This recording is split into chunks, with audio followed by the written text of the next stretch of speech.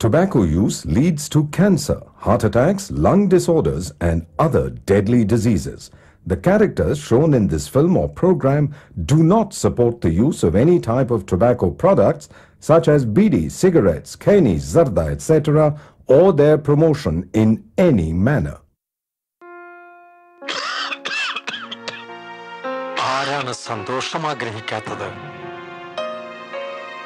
പക്ഷേ വലിയ വില കൊടുക്കേണ്ടി വന്നാൽ പുകവലിക്ക് വലിയ വില കൊടുക്കേണ്ടി വരും. പുകവലി നിങ്ങൾക്ക് ദോഷകരമാണ്. അതുപോലെ നിങ്ങളുടെ പ്രിയപ്പെട്ടവർക്കും. പുകവലിക്ക് വലിയ വില കൊടുക്കേണ്ടി വരും.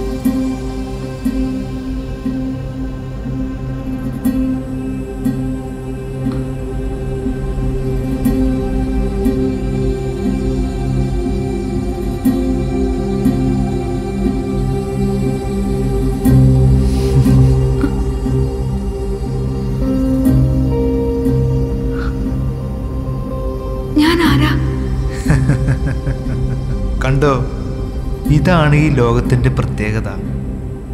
നിങ്ങളുടെ ലോകത്ത് അപരിചിതനായ ഒരാളെ കണ്ടാൽ നിങ്ങൾ ആരാണെന്ന് ചോദിക്കും. അല്ലേ?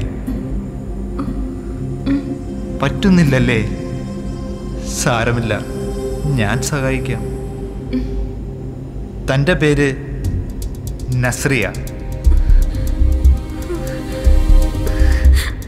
തന്റെ ലോകത്ത് വലിയൊരു ആശുപത്രിയിൽ ആത്മഹത്യയ്ക്ക് ശ്രമിച്ച് ഡോക്ടർമാർ നാൽപ്പത്തെട്ട് മണിക്കൂർ അവധി പറഞ്ഞ് മരണം കാത്തിരിക്കുന്ന ഒരു ജന്മം. അതായത് താനിപ്പോൾ ജീവിതത്തിനും മരണത്തിനും ഇടയ്ക്കുള്ള നൂൽപാലത്തിലൂടെ യാത്ര ആരംഭിക്കുകയാണ് എന്റെ കൂടെ. അപ്പോ താങ്കൾ ആരാണ് ഞാൻ ഞാൻ ഇപ്പോൾ ദൈവദൂതൻ. നാൽപ്പത്തെട്ട് മണിക്കൂർ കഴിഞ്ഞാൽ മരണദൂതൻ. എന്തിനാണ് ഈ യാത്ര? ഞാൻ ജീവിതം അവസാനിപ്പിച്ചല്ലേ പിന്നെ എന്തിനാ ഈ നാൽപ്പത്തെട്ട് മണിക്കൂർ? കുട്ടി കാര്യം ശരിയാണ്. പക്ഷേ ശരിക്കും തന്റെ ആയുസ് തീർന്നിട്ടില്ല. ഇനിയും അമ്പത്തഞ്ച് വർഷം കൂടിയുണ്ട് തനിക്ക് ഭൂമിയിൽ. ഇനി തിരികെ പോകാൻ ഈ മണിക്കൂറുകളിൽ തോന്നിയാൽ വീണ്ടും തനിക്ക് സുന്ദരമായ ഭൂമിയിൽ സന്തോഷത്തോടെ ജീവിക്കാം. അതല്ല മരിക്കാനാണ് തീരുമാനിക്കുന്നതെങ്കിൽ കുട്ടി ഭയങ്കര കഷ്ടമാണ്. മിണ്ടാനും പറയാനും ആരുമില്ലാതെ ഒറ്റയ്ക്ക് കൂരിരുട്ടും ഇടയ്ക്കിടയ്ക്ക് അരണ്ട വെളിച്ചവുമുള്ള മറ്റൊരു സ്ഥലത്തേക്ക് തന്നെ എത്തിക്കും. തന്റെ ആയുസ് തീരാനുള്ള അമ്പത്തിയഞ്ച് വർഷങ്ങൾ. പിന്നെയാണ് തന്റെ യഥാർത്ഥ മരണം നടക്കുന്നത്. തന്റെ ലോകത്ത് ആരെങ്കിലും ഈ ഭീകരതയെക്കുറിച്ചറിഞ്ഞാൽ പിന്നെ ആത്മഹത്യ എന്തെന്ന് ചിന്തിക്ക പോലുമില്ല. താങ്കൾ എന്തിനാ ഇങ്ങനെയൊക്കെ പറയുന്നേ? എനിക്ക് തിരിച്ചു പോണ്ട. നിങ്ങൾ എന്തിനാ എന്റെ മനസ്സ് മാറ്റാൻ ശ്രമിക്കുന്നേ? അതോ താൻ സത്യസന്ധ്യയായ ഈശ്വരവിശ്വാസിയായ ദൈവത്തിന്റെ പ്രിയപ്പെട്ട കുട്ടിയായതുകൊണ്ട്? ദൈവത്തിന് പ്രിയപ്പെട്ട കുട്ടിയായിരുന്നെങ്കിൽ ആ സന്നിധിയിലെത്താൻ എന്തിനാ എന്നെ തടയുന്നത്? അതാ കുട്ടി ഞാൻ നേരത്തെ പറഞ്ഞത്. ഇനിയൊരു അമ്പത്തഞ്ച് വർഷം കൂടി. അപ്പോഴേ താനാ സന്നിധിയിൽ പ്രവേശിക്കാൻ അർഹയാകും. ഇതെന്ത് നിയമങ്ങളാ? മനുഷ്യനെ ലോകത്ത് സ്വസ്ഥായി മരിക്കാനും പാടില്ലേ? എന്തായാലും ഞാൻ തിരിച്ചു പോവില്ല. അങ്ങനെയാണെങ്കിൽ അങ്ങയുടെ കൂടെ ഞാനും ഇവിടെ നിൽക്കാം. നമുക്ക് ഒരുമിച്ച് ഇവിടെ വരുന്നൊരു സ്വീകരിക്കാം. അതൊന്നും പറ്റില്ല കുട്ടി. നാൽപ്പത്തെട്ട് മണിക്കൂർ കഴിഞ്ഞാൽ നമുക്ക് തമ്മിൽ കാണാൻ പറ്റില്ല. അതിനു മുമ്പ് അങ്ങ് ദൂരെ നമ്മുടെ വഴി രണ്ടായി പിരിയുന്ന സ്ഥലം കണ്ടോ? അവിടെ നമ്മളെത്തും. പിന്നെ എല്ലാം കഴിഞ്ഞു. ഒന്നും കാണുന്നില്ലല്ലോ. ധൃതിയായോ അവിടെ എത്താൻ? പിന്നെ സ്നേഹത്തിന്റെ വിലയറിയാത്ത നാട്ടിലേക്ക് തിരിച്ചെല്ലുന്നതിലും ഭേദം അതല്ലേ നല്ലത്? അവിടെയാണ് കുട്ടി തനിക്ക് തെറ്റിയത്. താൻ ജീവിതം അവസാനിപ്പിക്കാനുള്ള കാരണക്കാരനുണ്ടല്ലോ. അയാളുടെ അവസ്ഥ എന്തെന്ന് താൻ ആലോചിച്ചിട്ടുണ്ടോ? അയാളും ഈശ്വരന് വേണ്ടപ്പെട്ട ആൾ തന്നെയല്ലേ? അതോർത്തെങ്കിലും കുട്ടിക്ക് തിരിച്ചു പോയിക്കൂടെ? പിന്നെ ആത്മാർത്ഥമായിട്ട് സ്നേഹിക്കാം. എന്നിട്ട് ഒരു കാരണവുമില്ലാതെ സ്നേഹമില്ല എന്ന് പറയാം. വേണ്ട അതൊന്നും. എനിക്ക് ഓർക്കുന്നത് തന്നെ എന്തോ പോലെയാ. തിരിച്ചു പോകുന്ന പ്രശ്നമില്ല ശരി ഒന്നും വേണ്ട. തിരിച്ചു പോകേണ്ട. പക്ഷേ ഇനി നാൽപ്പത്തേഴ് മണിക്കൂർ കൂടിയുണ്ട്. നമുക്ക് നടന്നു തീർക്കാൻ. ഇതിനിടയിൽ തന്റെ ജീവിതത്തിൽ ഇതുവരെ സംഭവിച്ച കാര്യങ്ങളെങ്കിലും എന്നോട് പറഞ്ഞുകൂടെ? വെറുതെ നടക്കുകയല്ലേ? അതൊക്കെ പറയേണ്ട ആവശ്യമുണ്ടോ? എന്റെ ആയുസിന്റെ ദൈർഘ്യം വരെ അറിയാവുന്ന ആൾക്ക്. പലതരം ജന്മങ്ങളെ ഞാൻ വഴി കൊണ്ടുപോയിട്ടുണ്ട്. ആദ്യമായിട്ടാ ഇത്തരം ഒന്നിനെ. ഈ പറഞ്ഞത് എനിക്ക് ഇഷ്ടപ്പെട്ടു അങ്ങേക്ക് അറിയാമെങ്കിലും ഞാൻ എന്റെ കഥ പറയാം.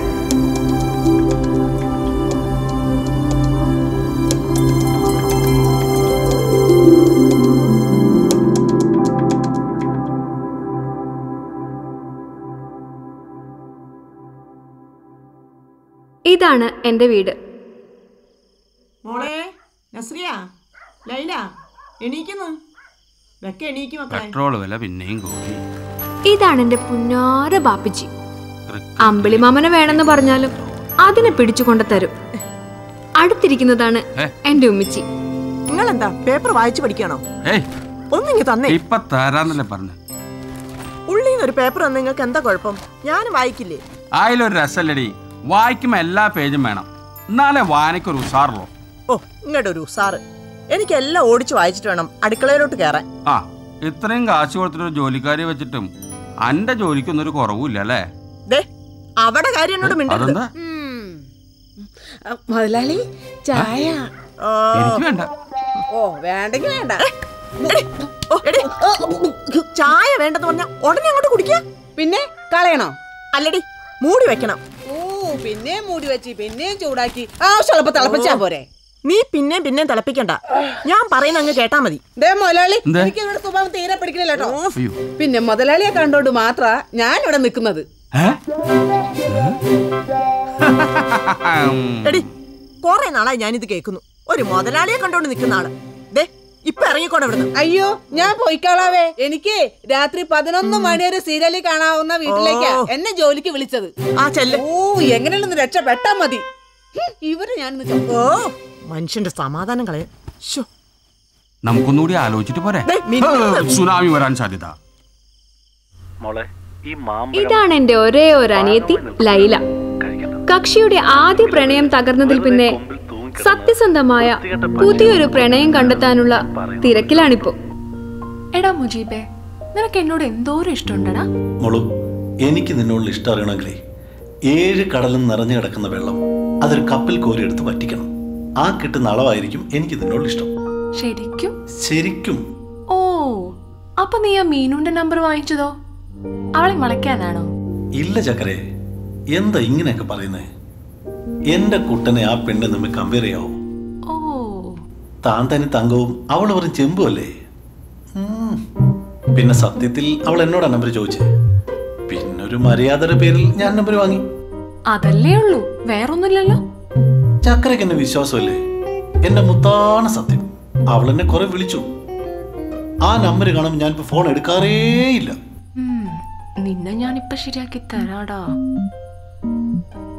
പിന്നെ എനിക്ക് കുറെ പറയാനുണ്ട്. എന്നാ എന്റെ വീട്ടിലേക്ക് വരുന്നേ? ആ ഇത് ഞാൻ അങ്ങോട്ട് പറയാനിരിക്കായിരുന്നു. മോളെ ചക്കരെ ഞാൻ ഫോൺ വെക്കണേ ആരോ മുറിയിലേക്ക് വരുന്നുണ്ട് ഞാൻ പിന്നെ വിളിക്കാം. ആ ശരി.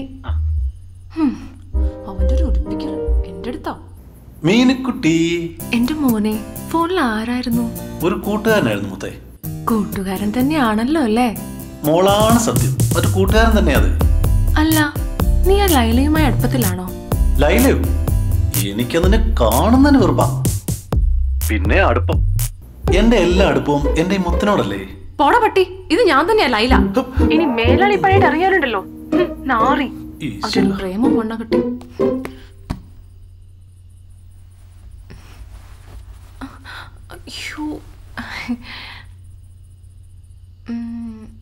ഇച്ചിൻ തന്നെ ഇങ്ങനെ നോക്കുന്നേ? നിനക്കിത് എന്തിന്റെ കേടാ? ഒരു പ്രണയവും മണ്ണാങ്കട്ടെ. ഏച്ചിക്ക് എന്നോട് അസൂയ തോന്നുന്നുണ്ടോ? അസൂയല്ല സങ്കടാ തോന്നുന്നത്. നോക്കിയും കണ്ടു നിന്നില്ലെങ്കിൽ എന്റെ മോളെ. ഇച്ചിക്ക് അങ്ങനെയൊക്കെ തോന്നുന്നതേ ഒന്ന് പ്രേമിക്കാത്തോണ്ടാ. ഒന്ന് പെട്ടാ പിന്നെ എന്നെക്കാൾ അപ്പുറം കാണിക്കും. നോക്കിക്കോ ഇച്ചിയും ഒരു പ്രണയത്തിൽ എന്തെങ്കിലും പെടും. എന്നിട്ട് ബാക്കി അന്നും ഞാൻ പറഞ്ഞോളാം. ഇല്ല മോളെ. നിന്റെ ഇച്ചി ഒരു പ്രണയത്തിൽ വീഴണമെങ്കിൽ രണ്ടാമത് ജനിക്കണം. ബാപ്പിച്ചും ഉമ്മിച്ചിയും പറയുന്ന ഒരാൾ മതി. പ്രണയിക്കാനും കല്യാണം കഴിക്കാനും. എന്റെ ഇച്ചി ഇത് മാറ്റി പറയുന്ന സമയേ വൈകാതെ വരും. എന്നിട്ട് വേണം എനിക്ക് രണ്ട് പറയാൻ. ഇതാണ് എന്റെ കോളേജ്. ആ ഓടി വരുന്നത് ബിജു. നിർത്തു കുട്ടി. കോളേജിലേക്ക് പോകാൻ വരട്ടെ. എന്തു പറ്റി? എന്റെ കഥ ഇഷ്ടായില്ലേ? അതല്ല തന്റെ അനുജത്തി ഉമ്മച്ചി ഒക്കെ പാവങ്ങളാ. തന്റെ ബാപ്പ ആൾ ശരിയല്ലല്ലോ. ആൾ പെശകാണല്ലേ. എന്റെ പാവം പാപ്പിച്ചെ കുറിച്ച് മോശമായി പറഞ്ഞാണ്ടല്ലോ. ദൂതനാണ് കാലിനാണെന്നൊന്നും ഞാൻ നോക്കില്ല. അല്ല ഞാൻ വെറുതെ പറഞ്ഞതാണേ. ക്ഷമിക്കണം. ആരാ എന്താണെന്നൊന്നും ചിന്തിക്കാതെ. മോളെ കാര്യം ദൂതനും കാലനുമൊക്കെ ആണെങ്കിലും ഞങ്ങൾക്കും കളിയും തമാശയും സ്നേഹമൊക്കെ മനസ്സിലാകും. പ്രത്യേകിച്ച് സ്നേഹത്തിന് വേണ്ടി ജീവിതം ഉപേക്ഷിക്കാൻ തയ്യാറായ നസ്രി കുട്ടിയുടെ താൻ എന്ത് വേണമെങ്കിലും പറഞ്ഞുകൊള്ളൂ. എന്റെ ബാപ്പിച്ചൊരു പാവ. ഞങ്ങൾക്ക് വേണ്ടി മാത്രം ജീവിക്കുന്നൊരു പാവം. അദ്ദേഹത്തെ അങ്ങനെ പറഞ്ഞു കേട്ടപ്പോ എനിക്ക് വിഷമായി. പിന്നെന്തിനാടോ താൻ ഇങ്ങോട്ട് വന്നത്? ആ പാവങ്ങളെയൊക്കെ വേദനിപ്പിച്ച് അവരൊന്നുമല്ല. അലക്സ് ലോകത്ത് ഒരു പെൺകുട്ടിയും തന്റെ ആളെ ഇത്രയും സ്നേഹിച്ചിട്ടുണ്ടാവില്ല. തിരിച്ചുള്ളത് ആത്മാർത്ഥ പ്രണയാണെന്ന് പോലും നോക്കാതെ ശരിക്കൊരു പാവം. പക്ഷെ ഏറെ സ്നേഹിച്ചിട്ട് പെട്ടെന്ന് വേണ്ടെന്ന് പറയുമ്പോൾ തീരെ സഹിക്കാൻ പറ്റിയില്ല. എങ്കിൽ താൻ അലക്സിനെ പറ്റി പറയൂ. അതിനുശേഷം മതി കോളേജ്. അലക്സിനെ കുറിച്ച് പറയണമെങ്കിൽ ആദ്യം യൂതയ പള്ളിയെ കുറിച്ച് പറയണം. അവിടെ ആയിരുന്നു എന്റെ അലക്സിന്റെ എല്ലാം.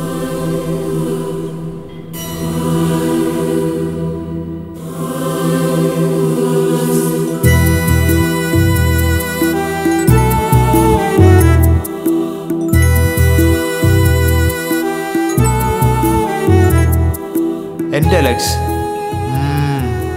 ഇപ്പോഴും അയാളെ മറന്നിട്ടില്ലല്ലേ? അലക്സിനെ മറക്കേ. അതിന് കഴിയാത്തോണ്ടല്ലേ ഇങ്ങോട്ട് വന്നത്?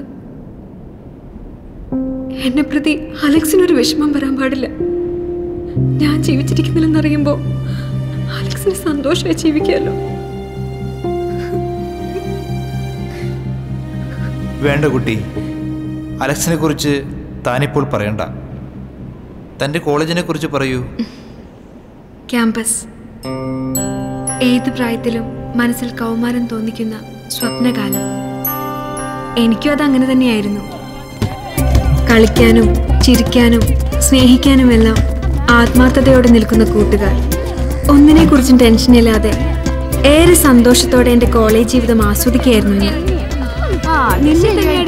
എന്നെയോ hi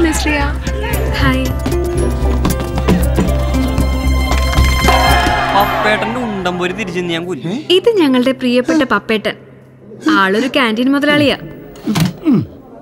Today we start with engines do you know about an engine combustion is take place in the cylinder പപ്പേട്ടാ ഇന്നെന്താ ക്യാന്റീനിൽ? ഇന്ന് പയമ്പൊരി ഉണ്ടംപൊരിയാ അത് തന്നെയല്ലായിരുന്നു ഇന്നലെ. എനിക്കെന്താ ഓർമ്മയില്ലേ? ഇന്നലെ ഉണ്ടംപൊരി പയമ്പൊരി അല്ലേ ആ ശരിയായിരുന്നു ഞാൻ ഞാനതങ്ങ് മറന്നുപോയി. അതാണ് ഇവന്റെ ഒരു കാര്യം. ഇപ്പത്തെ കുട്ടിക്ക് ബുദ്ധി ഓർമ്മയൊന്നുമില്ലാത്ത നമ്മളെ ഭാഗ്യം. ഇത് ഷാരൂഖ്. ആളൊരു ബ്രോക്കർ കൂടിയാ. ആരതിക്കൊരു ചെറുക്കനെ കൊണ്ടുവന്നു. പെണ്ണ് കാണൽ ചടങ്ങിനിടെ ആരതിയുടെ വയറിൽ നിന്നും ഒരു ശബ്ദം പുറത്തേക്ക് പോയി. ഷാരൂഖ് ഉണ്ടോ വിടുന്നു. ആരതി. മറ്റേത് കഥ വിചാരിയതാണ് അത് ചെക്ക മിണ്ടരുത് കൊന്നു കളയും ഞാൻ. അത് നീ എന്നെ നേരത്തെ കാണണോന്ന് പറഞ്ഞത്? എടാ സത്യത്തിൽ ഇന്നലെ എന്റെ വയറിന് ഒരു കംപ്ലൈന്റും ഇല്ലായിരുന്നു. പിന്നെ എങ്ങനെയാ സംഭവിച്ചതെന്ന് എനിക്ക് അറിയില്ല പ്ലീസ് ഡാ ആരോടും പറഞ്ഞെന്നെ നാറ്റിക്കരുത്. അപ്പൊ നിനക്ക് നാണോമാരൊക്കെ ഉണ്ട്? എന്തിനാണ് പാവൻ ജോസനോട് തട്ടിക്കരുത്? അയാളുടെ കാര്യം മിണ്ടരുത്. പ്ലീസ് ഡാ എനിക്ക് ഇഷ്ടായില്ല അയാളെ. ഇന്ന് രാവിലെ വിളിച്ച അച്ഛനോട് അയാൾ പറയാ വിവാഹത്തിന് അവർക്ക് കുഴപ്പമില്ലാന്ന്. എന്നെ കിട്ടിയാലേ വിഷുവിനൊക്കെ പടകം മേടിച്ച് കാശ് കളയണ്ടല്ലോ അതും പറഞ്ഞ് വീട്ടിലെല്ലാരും പൊട്ടിച്ചിരിക്കയായിരുന്നു എന്റെ ഒരു അവസ്ഥയെ നീ ഇതാരോടും പറഞ്ഞ പ്രശ്നമൊന്നും ഉണ്ടാക്കില്ലല്ലോ? ഞാനായിട്ടൊരു പ്രശ്നം ഉണ്ടാക്കില്ല. പക്ഷെ എനിക്കൊരു പ്രശ്നമുണ്ട്. ഇവിടുത്തെ പപ്പയുടെ ഞാനൊരു നൂറ്റമ്പത് പറ്റു കൊടുക്കാനുണ്ട്. അത് നീ കൊടുത്തേക്കണം.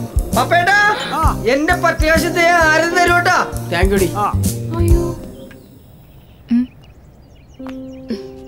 മോളെന്താ ഇവിടെ വന്നിരിക്കുന്നേ? ഒന്നും ചേച്ചി. മോളെ ഞാൻ ആദ്യമായിട്ടല്ലല്ലോ കാണുന്നേ. നിന്റെ മുഖം ഒന്ന് വാടിയാ ഇച്ചിക്കത് മനസ്സിലാവും. അത് ഇച്ചി ഞാൻ പറയും മോളെ എന്തായാലും നീ നിന്റെ ഇച്ചയോടല്ലേ പറയുന്നേ? എനിക്കൊരാളെ ഇഷ്ടാണ് ഇച്ചി. അത്രേ ഉള്ളൂ? അതിനാണ് ഇങ്ങനെ വിഷമിച്ചിരിക്കുന്നേ? അതല്ല. ആ ആൾ നമ്മുടെ കൂട്ടരല്ല. ഇച്ചിന്റെ കൂടെ ഉണ്ടാവില്ലേ? വേണ്ട മോളെ. ബാപ്പിച്ചും ഉമ്മിച്ചിയും വിഷമിപ്പിക്കുന്ന ഒന്നും നമ്മുടെ ഭാഗത്തുനിന്ന് ഉണ്ടാവരുത്. മോൾക്ക് ഇതിന്ന് പിന്മാറിക്കൂടെ? ഇല്ല ഇച്ചി. എനിക്കങ്ങനെ ആളെ മറക്കാൻ കഴിയില്ല. ഇച്ചി എന്റെ കൂടെ ഉണ്ടാവണം. അതെന്തായാലും ഞാൻ മോളുടെ കൂടെ ഉണ്ടാവും. പക്ഷെ ഈയിടെയായി മനസ്സിലരുതാത്ത എന്തോ സംഭവിക്കുന്നു പറയുന്ന പോലെ. ആകെ ഒരു ആശ്വാസം മോളാ. പിന്നെ തറയാണെങ്കിലും ഷാരൂഖിന്റെ നേരം പോക്ക ഒരാശ്വാസം. ഒരു ചായ. ആ അല്ല ഷാരൂഖേ എന്ത് പറ്റിയത്? പാമ്പ് കടിച്ചതാ. തലക്കിട്ടോ? ഇതെന്താ പാമ്പ് പറന്നു വന്ന് നോക്കിയതാ? എടാ പാമ്പൊക്കെ കാലിലല്ലേ കുത്ത ഷാരൂഖേ ഞാൻ ഒരു പാമ്പിനെ കണ്ട് പേടിച്ചിട്ട് അടുത്ത് കിടന്ന് വഴിയെടുത്ത് തല്ലിക്കൊല്ലാൻ പോയതാ. ആ വടിയായിരുന്നു ശരിക്കുള്ള പാമ്പ്. അത് ശരി. അപ്പൊ ഇയും പാമ്പേനില്ലേ എന്നിട്ട്? തലയിലും കടിച്ചു കയ്യിലും കടിച്ചു. എടാ പാമ്പ് കടിച്ചാൽ ഒരു തുണിയോ കയറോ എടുത്ത് അതിന്റെ താഴത്ത് മുറുക്കി കെട്ടണോ? കെട്ടി. എവിടെ? കഴുത്തിൽ. പിന്നെ ബോധം വന്നപ്പോ ഞാൻ ആശുപത്രിയിലായിരുന്നു. എടാ ഇജ്ജൊക്കെ എന്തിനാണ്ടാ എഞ്ചിനീയറിംഗിന് പഠിക്കണേ? അനക്കിവിടെ സപ്ലയർ പണിയെടുത്തൂടെ? പാമ്പ് നെറ്റിയിലും കയ്യിലൊക്കെ കൊത്തിന്ന്. ഇത് അതൊന്നല്ല. പാമ്പിനെ കണ്ട് ബോധം കെട്ട് വീണപ്പോ പറ്റി പരിക്കാത്. ഒന്ന് ചിന്തിച്ചു നോക്ക് അല്ലേ ഒരു ചായ ആ ഇപ്പോഴാണ് ഈ റൂട്ടിൽ വീണ്. ഞാൻ ഒരു ചായ കൊടുക്ക്. അല്ല ഹർത്താലൊക്കെ എങ്ങനെ ഉണ്ടായിരുന്നു? സാധനമൊക്കെ മേടിച്ചടിച്ച് പൊളിച്ചല്ലേ? എവിടെ? ഹർത്താൽ അറിയുന്നത് വൈകുന്നേരം ആറു മണി ഉടനെ വിട്ട് ബീവറേജിലേക്ക് അവിടെ ചെന്നപ്പോ എന്താ തിരക്ക്? രണ്ട് പ്രാവശ്യം ആലുവ ശിവരാത്രിക്ക് പോയിട്ട് ബലിട്ട് വന്നാലും അവിടുത്തെ തിരക്ക് തീരൂല. പിന്നെ വേണ്ടാന്ന് വെച്ച്. എന്റെ ചേട്ടാ ബാറിൽ പോയി ബീർ മേടിച്ചപ്പോഴായിരുന്നു വാങ്ങിച്ച്. ബാറി പോയിട്ട് രണ്ടു കുപ്പി. കള്ളാ പൊളിച്ചല്ലേ? എവിടെ? കിടന്നുറങ്ങിപ്പോയി അത് പിന്നെ കുടിച്ച ശല്യം ഉറങ്ങണ എന്താ പ്രശ്നം? പെണ്ണും പുള്ള ഇറക്കൂലല്ലേ? ഏ അതൊന്നല്ലടാ. ബീറ് കുടിച്ചപ്പോ നല്ല സുഖം. അപ്പൊ സുഖമായിട്ട് കിടന്നുറങ്ങി. അങ്ങനെ ഉറങ്ങിക്കൊണ്ടിരിക്കുമ്പോ പെട്ടെന്നതാ തോന്നുന്നു. എന്തിനി? മൂത്രമൊഴിക്കേ. അപ്പൊ അത് പോകല്ലേന്ന് കരുതി ചെന്ന് കാര്യം സരിച്ച് പിന്നെ ഉള്ള മൂടും പോയി. ഹർത്താലും കോളായി കുഴപ്പമില്ല. ഹർത്താൽ ഇനിയും വരുമല്ലോ. അടിച്ച് പൊളിക്കാന്ന്. പാമ്പ് പാമ്പ് പാമ്പ്. പാപ്പേട്ടാ അപ്പോൾ കുട്ടിയുടെ കൂട്ടുകാർ കോളേജ് ഷാരൂഖ്. പിന്നാരാ? ലോനച്ചൻ പപ്പേട്ടൻ കൊള്ളാം. എല്ലാം നല്ല കഥാപാത്രങ്ങൾ. പക്ഷേ ഇനിയും തന്റെ അലക്സിനെ കുറിച്ച് പറഞ്ഞില്ല. അല്ല വിഷമമായില്ലെങ്കിൽ മാത്രം. പറയാലോ. കോളേജ് വിശേഷം പങ്കുവച്ചതോടെ മനസ്സ് ഫ്രീ ആയി എങ്കിൽ അലക്സ് മാത്രമല്ല നിങ്ങളുടെ പ്രണയം എല്ലാം പറഞ്ഞുകൊള്ളൂ. ആളെ കുറിച്ച് പറയുമ്പോ കക്ഷിക്കൊരല്പം പൊക്കം കുറവുണ്ടെന്ന് തോന്നും. അതുകൊണ്ട് ഞങ്ങൾ ഒരുമിച്ച് നടക്കുമ്പോൾ ഞാനൊരല്പം കുനിഞ്ഞാ നടക്കാറ്. ഈ പ്രേമത്തിന് കണ്ണും മൂക്കും കാതൂല എന്ന് മാത്രമല്ല പൊക്കൊരു പ്രശ്നമാകാറില്ല കേട്ടോ നസ്രീ കുട്ടി മണിക്കൂറുകൾ കൊഴിഞ്ഞു തീരുകയാണ്. അങ്ങ് ദൂരെ തന്റെ ജീവന് വേണ്ടി സർവശക്തിനോട് യാചിച്ച് ഊണും ഉറക്കവുമില്ലാതെ തന്റെ ലൈലയും ഉമ്മയും ബാപ്പയുമൊക്കെ കാത്തിരിക്കുന്നുണ്ട്. എനിക്കറിയാം. എന്റെ ഉമ്മച്ചിയും ബാപ്പച്ചിയും ലൈലയൊക്കെ എന്നെ ഓർത്ത് ഒരുപാട് വേദനിക്കുന്നുണ്ടാവുമെന്ന്. പാവ എന്റെ വാപ്പിച്ചിയായിരിക്കും എന്നെ ഓർത്ത് ഏറ്റവും വിഷമിക്കുന്നുണ്ടാവുക. അസ്സലാം വലൈക്കും വാലൈക്കും അസ്സലാം. മോൾ സീരിയസ് ആയിട്ട് ഹോസ്പിറ്റലിൽ കിടക്കുമ്പോ നിങ്ങൾ ഇവിടെ ഉലാത്തെ കൊള്ളാം. ഹോ സഹിക്കില്ല എന്റെ മോളുടെ കിടപ്പ് കാണുമ്പോൾ അങ്ങനെ കിടക്കണ കാണുമ്പോൾ ചങ്ക് തകര. നിൽക്കാനൊരുക്കാനും ഒന്നിനും കഴിയണില്ല അതിന് നമ്മൾ എന്ത് ചെയ്യാനാ? പടച്ചോൻ ഓരോന്ന് വരുത്തുന്നതല്ലേ? അല്ലാതെ നമ്മളായിട്ടൊന്നും ചെയ്യുന്നതല്ലല്ലോ. റബ്ബ്.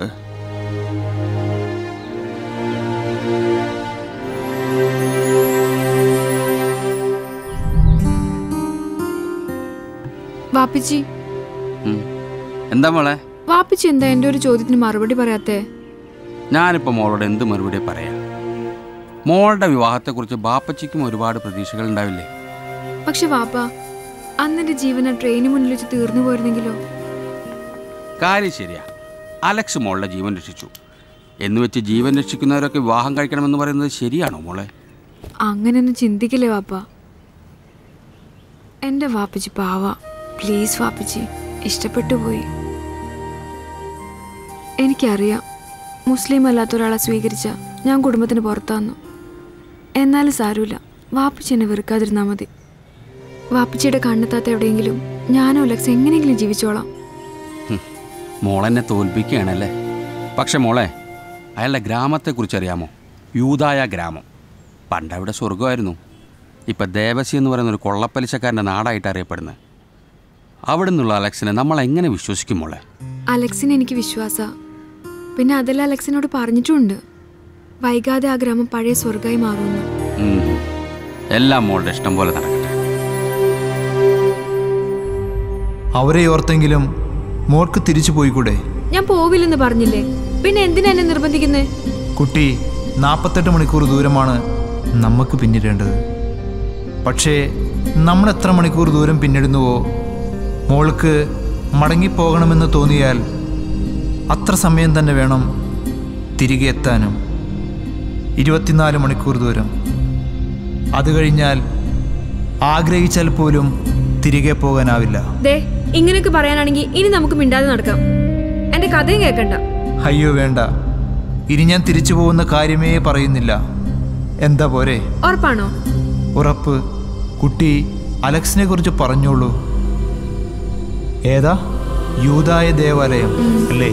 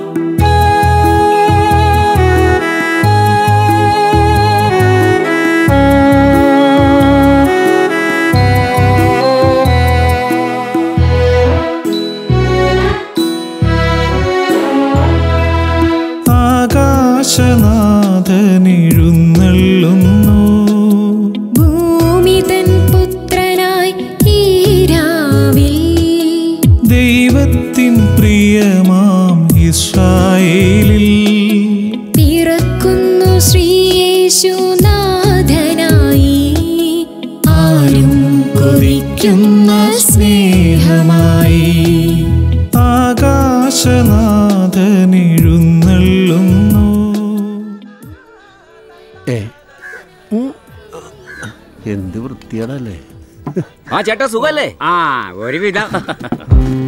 മത്തായി മുതലാളി ഒരു ചായ ശശി രമേശ്വര വാട്ട ചായ കൊടുത്തേ. അയ്യോ സ്പെഷ്യൽ വേണ്ട. മത്തായി മുതലാളി നല്ല ചൂടായിട്ട് എന്തൊക്കെയുണ്ട്? പച്ചത്തറിയുണ്ട് വേണമെങ്കിൽ ചൂടായി തരാം. മതിയാ. ശശി എനിക്കൊരു വടയും ചായ അവന്റെ ഒടുക്കത്തൊരു വടയും ചായ ഇന്ന. ഏ? വടട്ട് തുള വലുതായ. സർക്കാർ ഇടപെട്ട് തുടങ്ങി. സൂക്ഷിക്കണം. സർക്കാർ വില കൂട്ടിയില്ലേ? അപ്പൊ പിന്നെ തുള വലുതാക്കണ്ടേ? ഒന്ന് തിന്നിട്ട് പോടർക്ക. ദേശ് മുതലാളിക്ക് ദേശ് മുതലാളിക്ക് ദേശ് മുതലാളിക്ക് ദേശ് മുതലാളിക്ക് ദേശ് മുതലാളിക്ക്.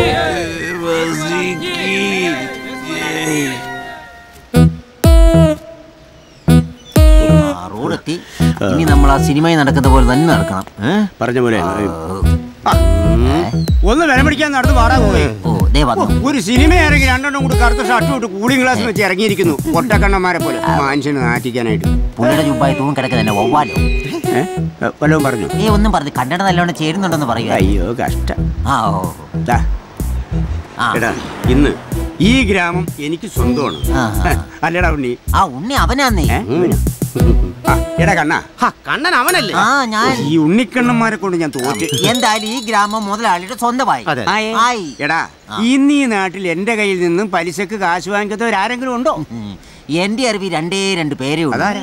ഒന്ന് മുഖ്യമന്ത്രി ഒന്ന് പ്രതിപക്ഷ നേതാവ്. അവർ വേറെ വഴിക്ക് വാങ്ങിക്കുന്നില്ലേ. അതെ അവിടെ രണ്ടുപേരും ഈ കൂളിംഗ് ഗ്ലാസ് ഊരിക്ക് നിങ്ങളെ കണ്ട് എനിക്ക് മനസ്സിലാവുന്നില്ല. അതിന് ഇത് ഊതിയാ പോരെ? മതിയല്ലേ? എന്നാ നിങ്ങൾ വെച്ചു. നമസ്കാരം. മത്തായി ചേർന്നും ഇവിടെ എല്ലാവർക്കും. ഇലക്ഷനായി തോമസ് ഉഷാറായി. ഇലക്ഷനായി തോമസ് ഉഷാറായി. കണ്ടാലറിയാതാ. ഇപ്രാവശ്യം ജയിക്കോ? കുഴിവെട്ടിയല്ലടാ വെട്ടുകുഴി. എന്താ സംശയം? എന്റെ മത്തായി എന്നെ പോലൊരു മുത്തിനെ ഏതു പാർട്ടിയും ജനങ്ങളുമാണ് സ്വന്തമാക്കാൻ ആഗ്രഹിക്കാത്തത്? മുത്ത മുത്തിന്റെ കളറ്. പിന്നല്ലേ? ദേ കറുത്ത മുത്ത്. നിങ്ങൾക്കറിയാമോ? മൂന്ന് ഡബ്ല്യൂൽ ഏതെങ്കിലും ഒരെണ്ണത്തിൽ വീക്കൻസ് ഇല്ലാത്ത ഏതെങ്കിലും രാഷ്ട്രീയക്കാരി നാട്ടിലുണ്ടോ? മൂന്ന് ടപ്ലിയോ ഡബ്ല്യു അല്ല ഡബ്ല്യു ഈ എ ബി സി ഡി ഇല്ലേ? അതിലെ ഡബ്ല്യു അതെന്താ മെമ്പറേ A B C D A B C ഡിയിൽ എവിടെയാണ് ഡബ്ല്യു ഒന്ന് പോരാടന്ന്. എന്റെ ചേട്ടാ ഒന്നാമത്തെ ഡബ്ല്യു വൈൻ മദ്യം. എനിക്കത് വേണ്ട. രണ്ടാമത്തെ ഡബ്ല്യു വെൽത്ത് പണം. എനിക്കത് ആർത്തിയില്ല. മൂന്നാമത്തെ ഡബ്ല്യു ഉമൺ അതായത് പെണ്ണ്. എനിക്കത് ഇഷ്ടമേ അല്ല. മനസ്സിലായോ? മനസ്സിലായി മനസ്സിലായി. മറ്റു രാഷ്ട്രീയക്കാർക്ക് ഇതിൽ ഏതെങ്കിലും ഒന്നിലേ വീക്കൻസ് അതെ അതെ അതെ. നിനക്ക് ഇതിൽ മൂന്നിലും വീക്കൻസ് ആണല്ലോ. ബാസുട്ടാ ശരിക്കും മുടിക്കോട്ടാ നമ്മുടെ ഒട്ടാണേ തട്ടിപ്പോരുത്. ആ, മുടിക്കോ മുടിക്കോ മുടിക്കോ മുഖം കണ്ടാലറിയാം വായ നിറച്ചുമല്ല. ആ അച്ചോ ഈശോ മിശ്രയ്ക്ക് സ്തുതിയായിരിക്കട്ടെ. ഇപ്പോഴും എപ്പോഴും സ്തുതിയായിരിക്കട്ടെ. എന്താ ദേവസി എനിക്കൊന്ന് കുമ്പസാരിക്കണമായിരുന്നു എന്നാച്ചു കുമ്പസാരിക്കുന്നത് നല്ലതല്ലേ? പിന്നെ? പാപം ചെയ്യുക കുമ്പസാരിക്കുക പിന്നെയും പാപം ചെയ്യുക കുമ്പസാരിക്കുക ഓ, പാപം ചെയ്യുമ്പോൾ മനസ്സിനൊരു സുഖം. കുമ്പസാരിക്കുമ്പോൾ ഒരു മനസമാധാനം. അങ്ങനെയല്ലേ അച്ചു. പിന്നെ? ഓ, ഈ ചെരുപ്പ്. ശശി മുസ്തഫയ്ക്ക് ഒരു പച്ച ചായ കൊടുത്തേ. നമുക്ക് ചായ വേണ്ട. പത്രം നോക്കാനായിട്ടാണ്. ഇങ്ങോട്ടാ ഞാൻ നോക്കി തരാം അടിച്ചണ്ട? ഇല്ല അടിക്കണം. സമയായില്ലല്ലോ ഇതെന്താ സർപ്പേഞ്ഞോ യോ യോ. എന്താ മത്തായി ചേട്ടൻ ഇങ്ങനെ ആയി പോയത്? ഇവന്റെ പേരെന്താന്നറിയാമോ? ശശി. ശശി എന്ന് പേരുള്ളവരെ. ശശി തരൂരായാലും ശശി കപൂർ ആയാലും ഇതുപോലത്തെ പണി ചെയ്യൂ. യോ, യോ. തോമസേ നീ കഴിഞ്ഞ ഇലക്ഷന് മുമ്പ് ജയിച്ച് മെമ്പർ ആയി കഴിഞ്ഞു കഴിഞ്ഞാ ഈ പള്ളിയിൽ നിന്ന് മോഷണം പോയ പൊന്നിങ്കാസ കണ്ടെടുക്കാനായിട്ട് പോലീസ് സമ്മർദ്ദം ചെലുത്തു പറഞ്ഞില്ലേ? അഞ്ചു വർഷമായിട്ട് നീ ഇതുവരെ സമ്മർദ്ദം ചെലുത്തി തീർന്നില്ലേ? ദേ അങ്ങനെ പറയരുത്. എന്റെ സമ്മർദ്ദ ഫലമായി പോലീസ് ശക്തമായി അന്വേഷിച്ചില്ലേ? പിന്നെന്താ പറ്റിയ? നിരപരാധികളെ പോലീസ് പീഡിപ്പിക്കുന്നു എന്ന് പറഞ്ഞ് അന്വേഷണം മരവിപ്പിച്ചതാരാ നമ്മുടെ വികാരി അച്ഛനല്ലേ ആണല്ലോ?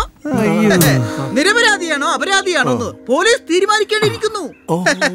രണ്ടെണ്ണം ശരിക്കും കിട്ടുമ്പോ താനെ കള്ളം പുറത്തു വന്നതിനില്ലേ ശരിയാണ്.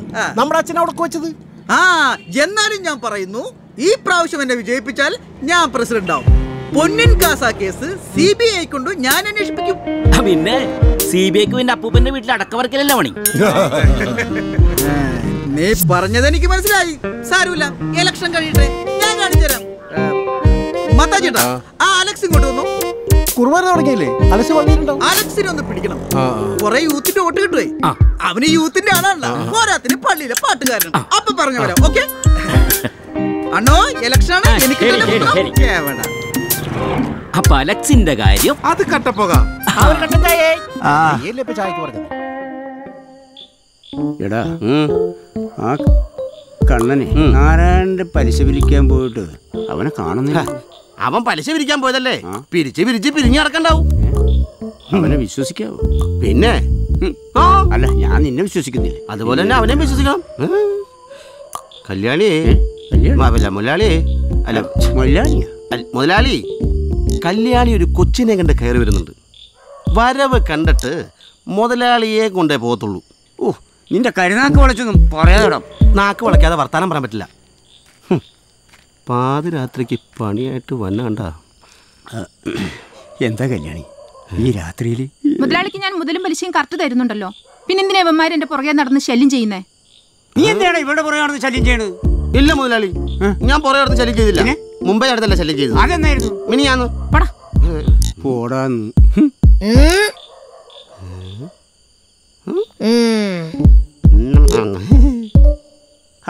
എന്റെ കല്യാണി ഇതൊക്കെ ഇതിൽ പറഞ്ഞിട്ടുള്ളതാ. ഇനി നിന്റെ പുറകെ നടന്ന് ശല്യം ചെയ്യാതിരിക്കണമെങ്കിൽ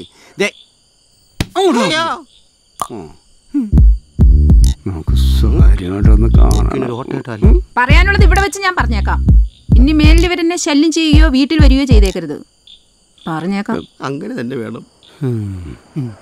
ആ ആ ചെറുക്കന്റെ നോട്ടം കണ്ടു. മുതലാളി നിന്ന് കുത്തി മലത്തിട്ട് പോകും പോവാണ്? ക്രിക്കറ്റ് ബോളിന്റെ നോട്ടം കണ്ടില്ല? അവർക്കെന്നെ ശരിക്കും അറിയില്ല. ഇടഞ്ഞിടഞ്ഞ മക ചെറ്റാണ് എന്താ പറ്റിയെന്നാ? ആ.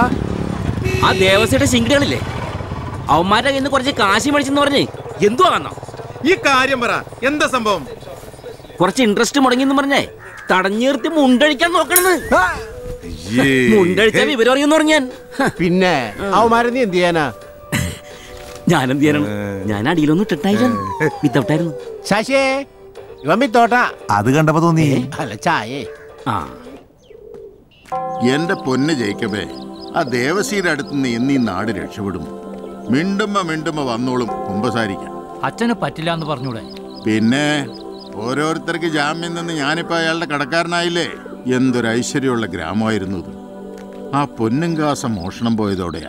എനിക്ക് സംശയം ആ ദേവസ്വം മുതലാളിയും ചിങ്കിടികളെയാ. നമുക്കങ്ങനെ ആരെയും സംശയിക്കാൻ പറ്റില്ലല്ലോ. നമ്മുടെ തോമസ് വെട്ടൂഴി ആഞ്ഞു ശ്രമിക്കുന്നുണ്ടല്ലോ. പുള്ളിക്ക് പോലീസിലൊക്കെ നല്ല പിടിപാടല്ലേ? അതെ അതെ. പോലീസും പട്ടാളവും ഒന്നും വിചാരിച്ചാലും ദേവസ്വം ഒതുക്കാൻ പറ്റില്ല. ഞാൻ പിതാവിനോടെല്ലാം പറഞ്ഞിട്ടുണ്ട്. പറ്റിയ ഒരാളെ ഇങ്ങോട്ട് അയക്കാമെന്നും പറഞ്ഞിട്ടുണ്ട്. ആളൊരരവട്ടനാണെന്നാ പറഞ്ഞ് കേട്ടത്. ആര്? പിതാവോ?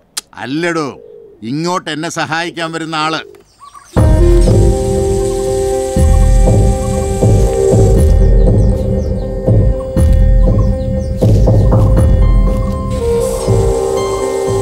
ചേട്ടാ എവിടേക്കാ? എനിക്ക് പോണ്ടതേ യൂതയാപുരം എന്തുട്ട്? യൂതാപുര അത് പത്തറുപത് കിലോമീറ്റർ ദൂരമുണ്ട്. ഇപ്പോൾ നിങ്ങൾ പോണത് കാട്ടിലേക്കാ. ആ വഴി കുറച്ച് ദൂരെ പോയാൽ മെയിൻ റോഡിലെത്താം അവിടെ നിന്നാൽ എന്തെങ്കിലും വണ്ടി കിട്ടും. സഹോദര എന്റെ രണ്ട് കാലുകൾ തമ്മിൽ ഒരു മത്സരത്തിലാണ് ഇടതുകാൽ വലതുകാലിനെ തോൽപ്പിക്കാനും വലതുകാൽ ഇടതുകാലിനെ തോൽപ്പിക്കാനും.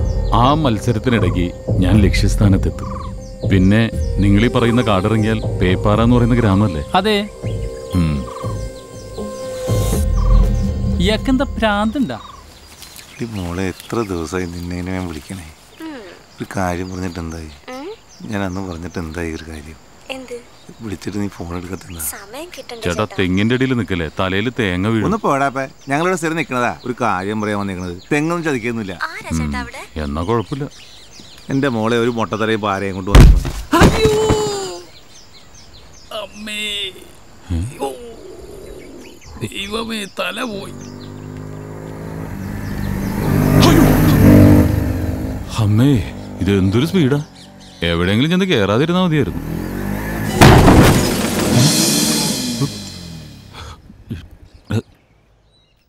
മത്തായി ചേട്ടോ വല്ലത് പറഞ്ഞാ. ഇലക്ഷൻ വരാൻ പോണ്. ഞാൻ. പ്രസിഡന്റ് ആവാൻ പോണ്. അങ്ങനെ ഈ യൂതായ ഗ്രാമം നന്നാവാൻ പോണ്. എന്റെ തോമസ് ഈ മനുഷ്യന് മനസ്സിലാവുന്ന ഭാഷയിൽ പറ. പറഞ്ഞ പറഞ്ഞതുപോലെ സംഭവിപ്പിക്കുന്ന ഒരു മാന്ത്രികൻ നമ്മുടെ നാട്ടിലെത്തിയിട്ടുണ്ട്. പേര് ജോസഫ്. ദല്ലാളാ. തല്ലാളോ? തല്ലാനല്ല ദല്ലാൾ ബ്രോക്കർ പിന്നെ ദല്ലാൾ നമ്മുടെ ഇവിടെ മരത്തും നീ കണ്ടോ മോനെ? എന്റെ മത്തായി ചേട്ടാ ഒരൊന്നൊന്നിരടി പൊക്കം. അതിനൊത്ത വണ്ണുള്ള ഒരു ആചാര ബാലു.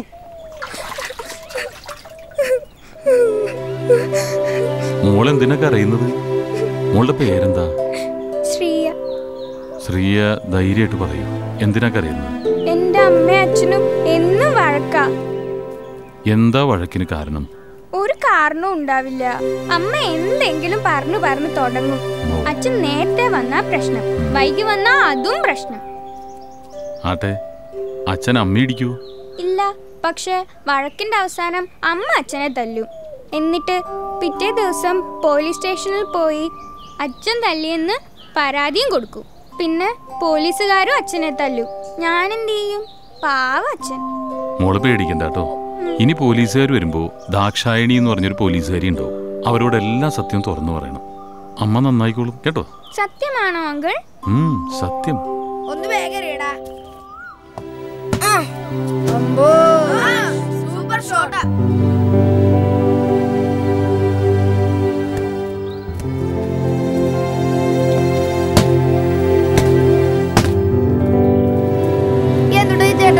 പന്ത് പോയാ?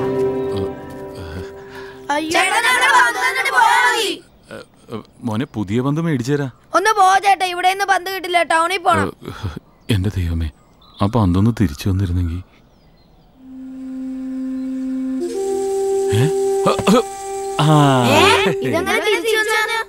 അത് തന്നെ ഞാനും ആലോചിക്കുന്നത്. ബൈബിളിൽ ഒരു വചനമുണ്ട്. കേട്ടിട്ടുണ്ടോ?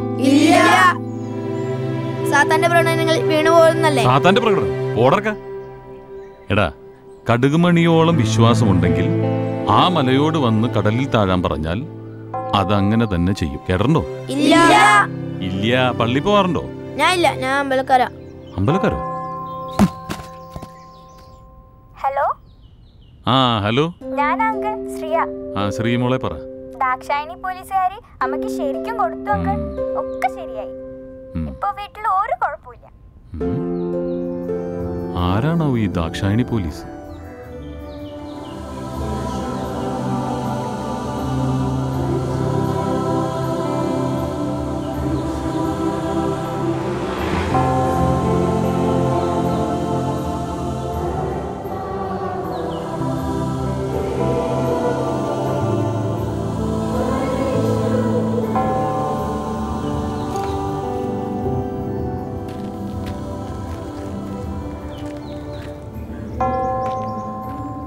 ആർക്കു വേണ്ടി അമ്മീ പ്രാർത്ഥിക്കുന്നത്? എന്റെ മോന് വേണ്ടിയാ. ഞാൻ വളരെ കഷ്ടപ്പെട്ട് അവനെ വളർത്തിയത്. ഇന്ന് അവന് ജോലി കിട്ടുന്ന ദിവസമാ. അതിന് യുദാസ്ലിഹായിട്ട് നന്ദി പറയാൻ വന്നതാ. എവിടെ ഈ ജോലി സ്ഥലം? തിരുവനന്തപുരം. ഞാൻ ഇവിടുത്തുകാരനല്ല. എന്ത് ചെയ്യാ? ഞാൻ ഒരു ദല്ലാളാ. കല്യാണം ബ്രോക്കർ ആയിരിക്കുമല്ലോ കല്യാണത്തിന്റെ അല്ല എല്ലാത്തിന്റെയും ജീവിക്കണ്ടേ? ഇപ്പൊ എന്റെ മോന് ജോലി കിട്ടുകയല്ലേ? ഇനി അവനെ കല്യാണം കഴിപ്പിക്കണം. അവന് പറ്റിയ നല്ലൊരു പെൺകുട്ടിയെ മോൻ നോക്കി വെച്ചേക്കോ. അതിനെന്താ? നല്ലൊരു കുട്ടിയെ കണ്ടുപിടിക്കാം ഈ യൂദാസ്ലിഹോട് അത്രയ്ക്ക് സ്നേഹവും ബഹുമാനമാണോ അങ്ങനെയാണെങ്കിൽ യൂദാസ്ലിഹോടാണോ അതോ മകനോടാണോ കൂടുതൽ സ്നേഹം? യൂദാസ്ലിഹ എന്റെ മോനെ പഠിപ്പിക്കാനും വളർത്താനും ഒക്കെ എന്നെ സഹായിച്ചത് യുദാസ്ലിഹയാ അങ്ങനെയാണേ മോൻ ഈ ജോലി കിട്ടിയില്ലെങ്കിൽ യൂദാസ്ലിഹോട് ദേഷ്യം തോന്നുന്നു. ദേഷ്യോ? എന്താ ഈ പറയണേ? ഈ ജോലി കിട്ടിയില്ലെങ്കിൽ ഇതിനേക്കാൾ നല്ലത് തരില്ലേ എന്റെ വിശുദ്ധൻ?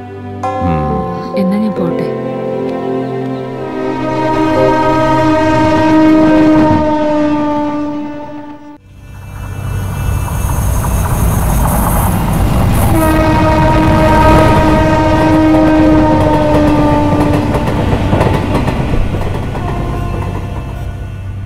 അച്ചോ എന്താ ജേക്കബേ? നമ്മുടെ അലക്സിന് ഒരു ട്രെയിൻ ആക്സിഡന്റ് പറ്റി.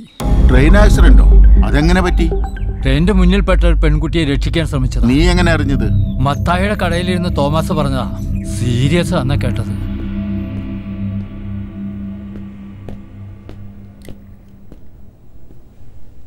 അലക്സിന്റെ അമ്മയല്ലേ? അതെ. ഒരു എമർജൻസി ഓപ്പറേഷൻ വേണം. ഇരുപത്തിനാല് മണിക്കൂറിനകം. അതിനെ അഞ്ച് ലക്ഷം രൂപ ഉടനെ കെട്ടിവയ്ക്കണം ഇടിയുടെ ആഘാതത്തിൽ ബ്ലഡ് തലയിൽ കോട്ട് ചെയ്തിട്ടുണ്ട്. അപകടനില തരണം ചെയ്താലും ഒരു വശം തളർന്നു പോകാൻ സാധ്യതയുണ്ട്. അതുകൊണ്ട് ഓപ്പറേഷൻ നിർബന്ധമാണ്. ആദ്യം പോയി പണത്തിനുള്ള ഏർപ്പാട് ചെയ്യും. വേഗം.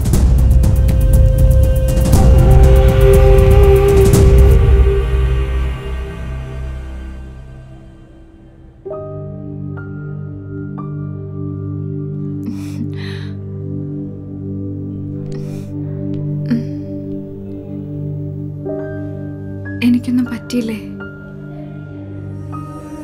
എല്ലാം തീർന്നു എന്നാ ഞാൻ വിചാരിച്ചു. ഒരാൾ ഓടി വരുന്ന മാത്രം ഓർമ്മയുണ്ട്. എന്താ സംഭവിച്ചേ? നീ മോളെ നിന്റെ ഭാഗ്യ. ആ ആൾ ജീവൻ പണയം വെച്ചാ നിന്നെ രക്ഷിച്ചേ. പാവം. എന്നിട്ട് അയാൾ എന്തേ അതല്ല രസം. അയാളിപ്പോ ഇപ്പൊ സീരിയസ് ആയ ഐ സിയുലുണ്ട് നിനക്ക് പറ്റേണ്ടത് അയാൾക്ക് പറ്റി. എന്റെ റബ്ബേ അയാൾക്കൊന്നും വരുത്താതിരുന്നാ മതിയായിരുന്നു. ആരയാളുടെ അയാളുടെ കൂടെ? ഒരമ്മ മാത്രം. ഓപ്പറേഷൻ അഞ്ചു ലക്ഷം രൂപ വേണമെന്ന് പറഞ്ഞപ്പോ കരഞ്ഞോണ്ട് ഓടുന്നെന്നാ കേട്ടത്. പാവം.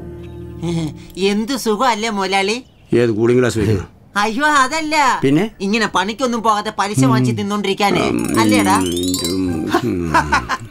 അതിലും രസമാണ് പലിശ മേടിക്കാൻ ചെല്ലുമ്പോ.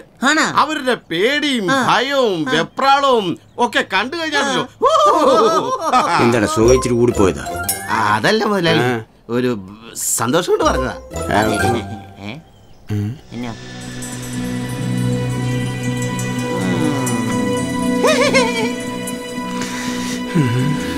മുതലാളിക്ക് നോട്ടം ഉണ്ടെന്ന് തോന്നുന്നു എങ്കിലും എങ്കിൽ ഈ വള്ളി കാലെ ചുറ്റിയത് തന്നെ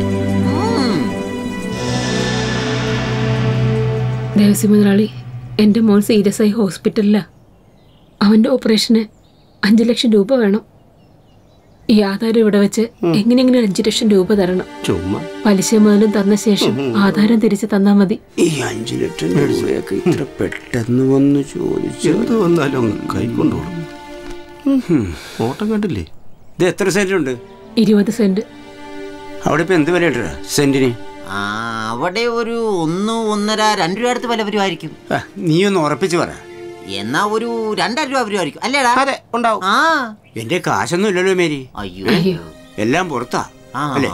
അതെ. ആ. മേരി ആദ്യമായിട്ട് വന്ന് കാര്യം ആവശ്യപ്പെട്ടിട്ട് ചെയ്തു കൊടുത്തില്ലേ പറ്റുമോ അതെ. എന്ത് ചെയ്യും? എന്ത് ചെയ്യൂടാ ഞാനാണ്. മുതലാളി വരും. എന്തെങ്കിലും ചെയ്തു തരണം. മേരി ഇപ്പൊ പോ. നമ്മൾ പോയി കഴിഞ്ഞ് വിളിക്കാനാ. അതെ, അല്ല ഇപ്പൊ പൊക്കോളനാ പറഞ്ഞേ. അതെ. എന്റെ ഒരു സുഹൃത്തുണ്ട് എന്നെ അത്യാവശ്യം സഹായിക്കുന്നവനാ. ഞാൻ അവനോടൊന്ന് ചോദിച്ചു നോക്കാം. അത് പിന്നെ ആധാരം രജിസ്റ്റർ ചെയ്ത് കൊടുക്കണം. ആധാരം പോയി. പലിശ നൂറ്റിക്ക് പത്താ അത് തീരെ കുറവല്ലേ ആളിക്ക് എന്താ? ചോദിക്കട്ടെ. പലിശ അല്ലല്ലോ എന്റെ മോന്റെ ജീവനല്ലേ വലുത്. അതാണ്. അതാണ്. അതാണ്. മുതലാളി സംസാരിക്കേ. ഞാൻ പോയിട്ട് വരാം. പോയിട്ട് വരണം.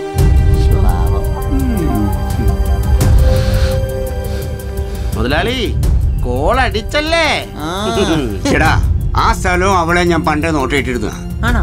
അവൾ അടുക്കുന്നില്ലായിരുന്നു. അയ്യോ. ഇപ്പതേ കൊണ്ടുതരുമല്ലേ മുതലാളി ആ പോയവരെ യൂദാശ്രീയുടെ ഭയങ്കര ഭക്തിയാ. സൂക്ഷിച്ചോണം. എന്തോ യൂദാശ്രീക? എടാ ഇപ്പൊ പണക്കാരുടെ കൂടെയാണ് ദൈവങ്ങളൊക്കെ. എന്താ മീരിയം ഇത്ര വിഷമത്തോടെ? എന്റെ മോന് ആക്സിഡന്റ് ആയി. സീരിയസ് ആയി ഹോസ്പിറ്റലിലാ. ഉടനെ അഞ്ചു ലക്ഷം രൂപ വേണം. ആ ദേവസിയുടെ കയ്യിൽ ആധാരം കൊടുത്തിട്ട് വരുന്ന വഴിയാ.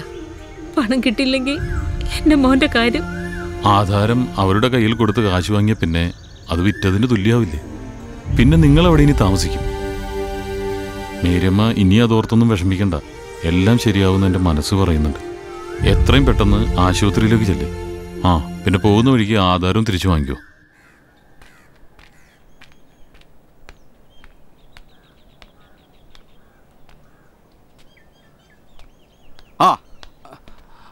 അലക്സിന്റെ അമ്മയല്ലേ? നിങ്ങൾ എവിടെയായിരുന്നു? എന്റെ മോൻ അവന്? ഒരു കുഴപ്പമില്ല ഓപ്പറേഷൻ കഴിഞ്ഞ്. ആ, ഞമ്മളെ മനസ്സിലായില്ല അല്ലേ? നസ്രിയാന്റെ ബാപ്പയാണ്. അതായത് നിങ്ങളുടെ മോൻ രക്ഷിച്ചില്ലേ? ആ കുട്ടീന്റെ ബാപ്പ. മോൾ വിളിച്ചു പറഞ്ഞപ്പോൾ തന്നെ നമ്മൾ ക്യാഷ് ആയിട്ട് ഹോസ്പിറ്റലിൽ പോയി. ഇനി ഒന്നും പേടിക്കാല്ല ഡോക്ടർ ദേവൻ എന്ന് പറഞ്ഞാലേ ആൾ മിടുമിടുക്കണ. ഇനി നിങ്ങൾ ക്യാഷിനായിട്ട് ഇങ്ങനെ ഓടി ഇറക്കണ്ട എല്ലാം ഞമ്മളേറ്റ് ഈ ഉപകാരം ഞാൻ ഒരിക്കലും മറക്കില്ല. ഉപകാര. ഓളന്റെ മുത്ത ഓളുടെ കാലം ഒരു മുള്ളു കൊണ്ടാ നമ്മൾ സഹിക്കൂല. ആ ഓളയാണ് നിങ്ങളുടെ മോൻ ജീവൻ പണയം വെച്ച് രക്ഷിച്ചത്. അപ്പോ ഓന്റെ ജീവൻ രക്ഷിക്കേണ്ടത് നമ്മുടെ കടമയല്ലേ?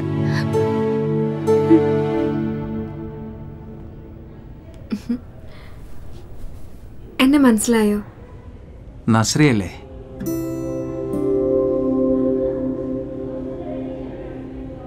നന്ദിയുണ്ട്. ഈ രണ്ടാം ജന്മം നൽകിയതിന്. നന്ദിയോ? ഞാനല്ലേ നന്ദി പറയേണ്ടത്?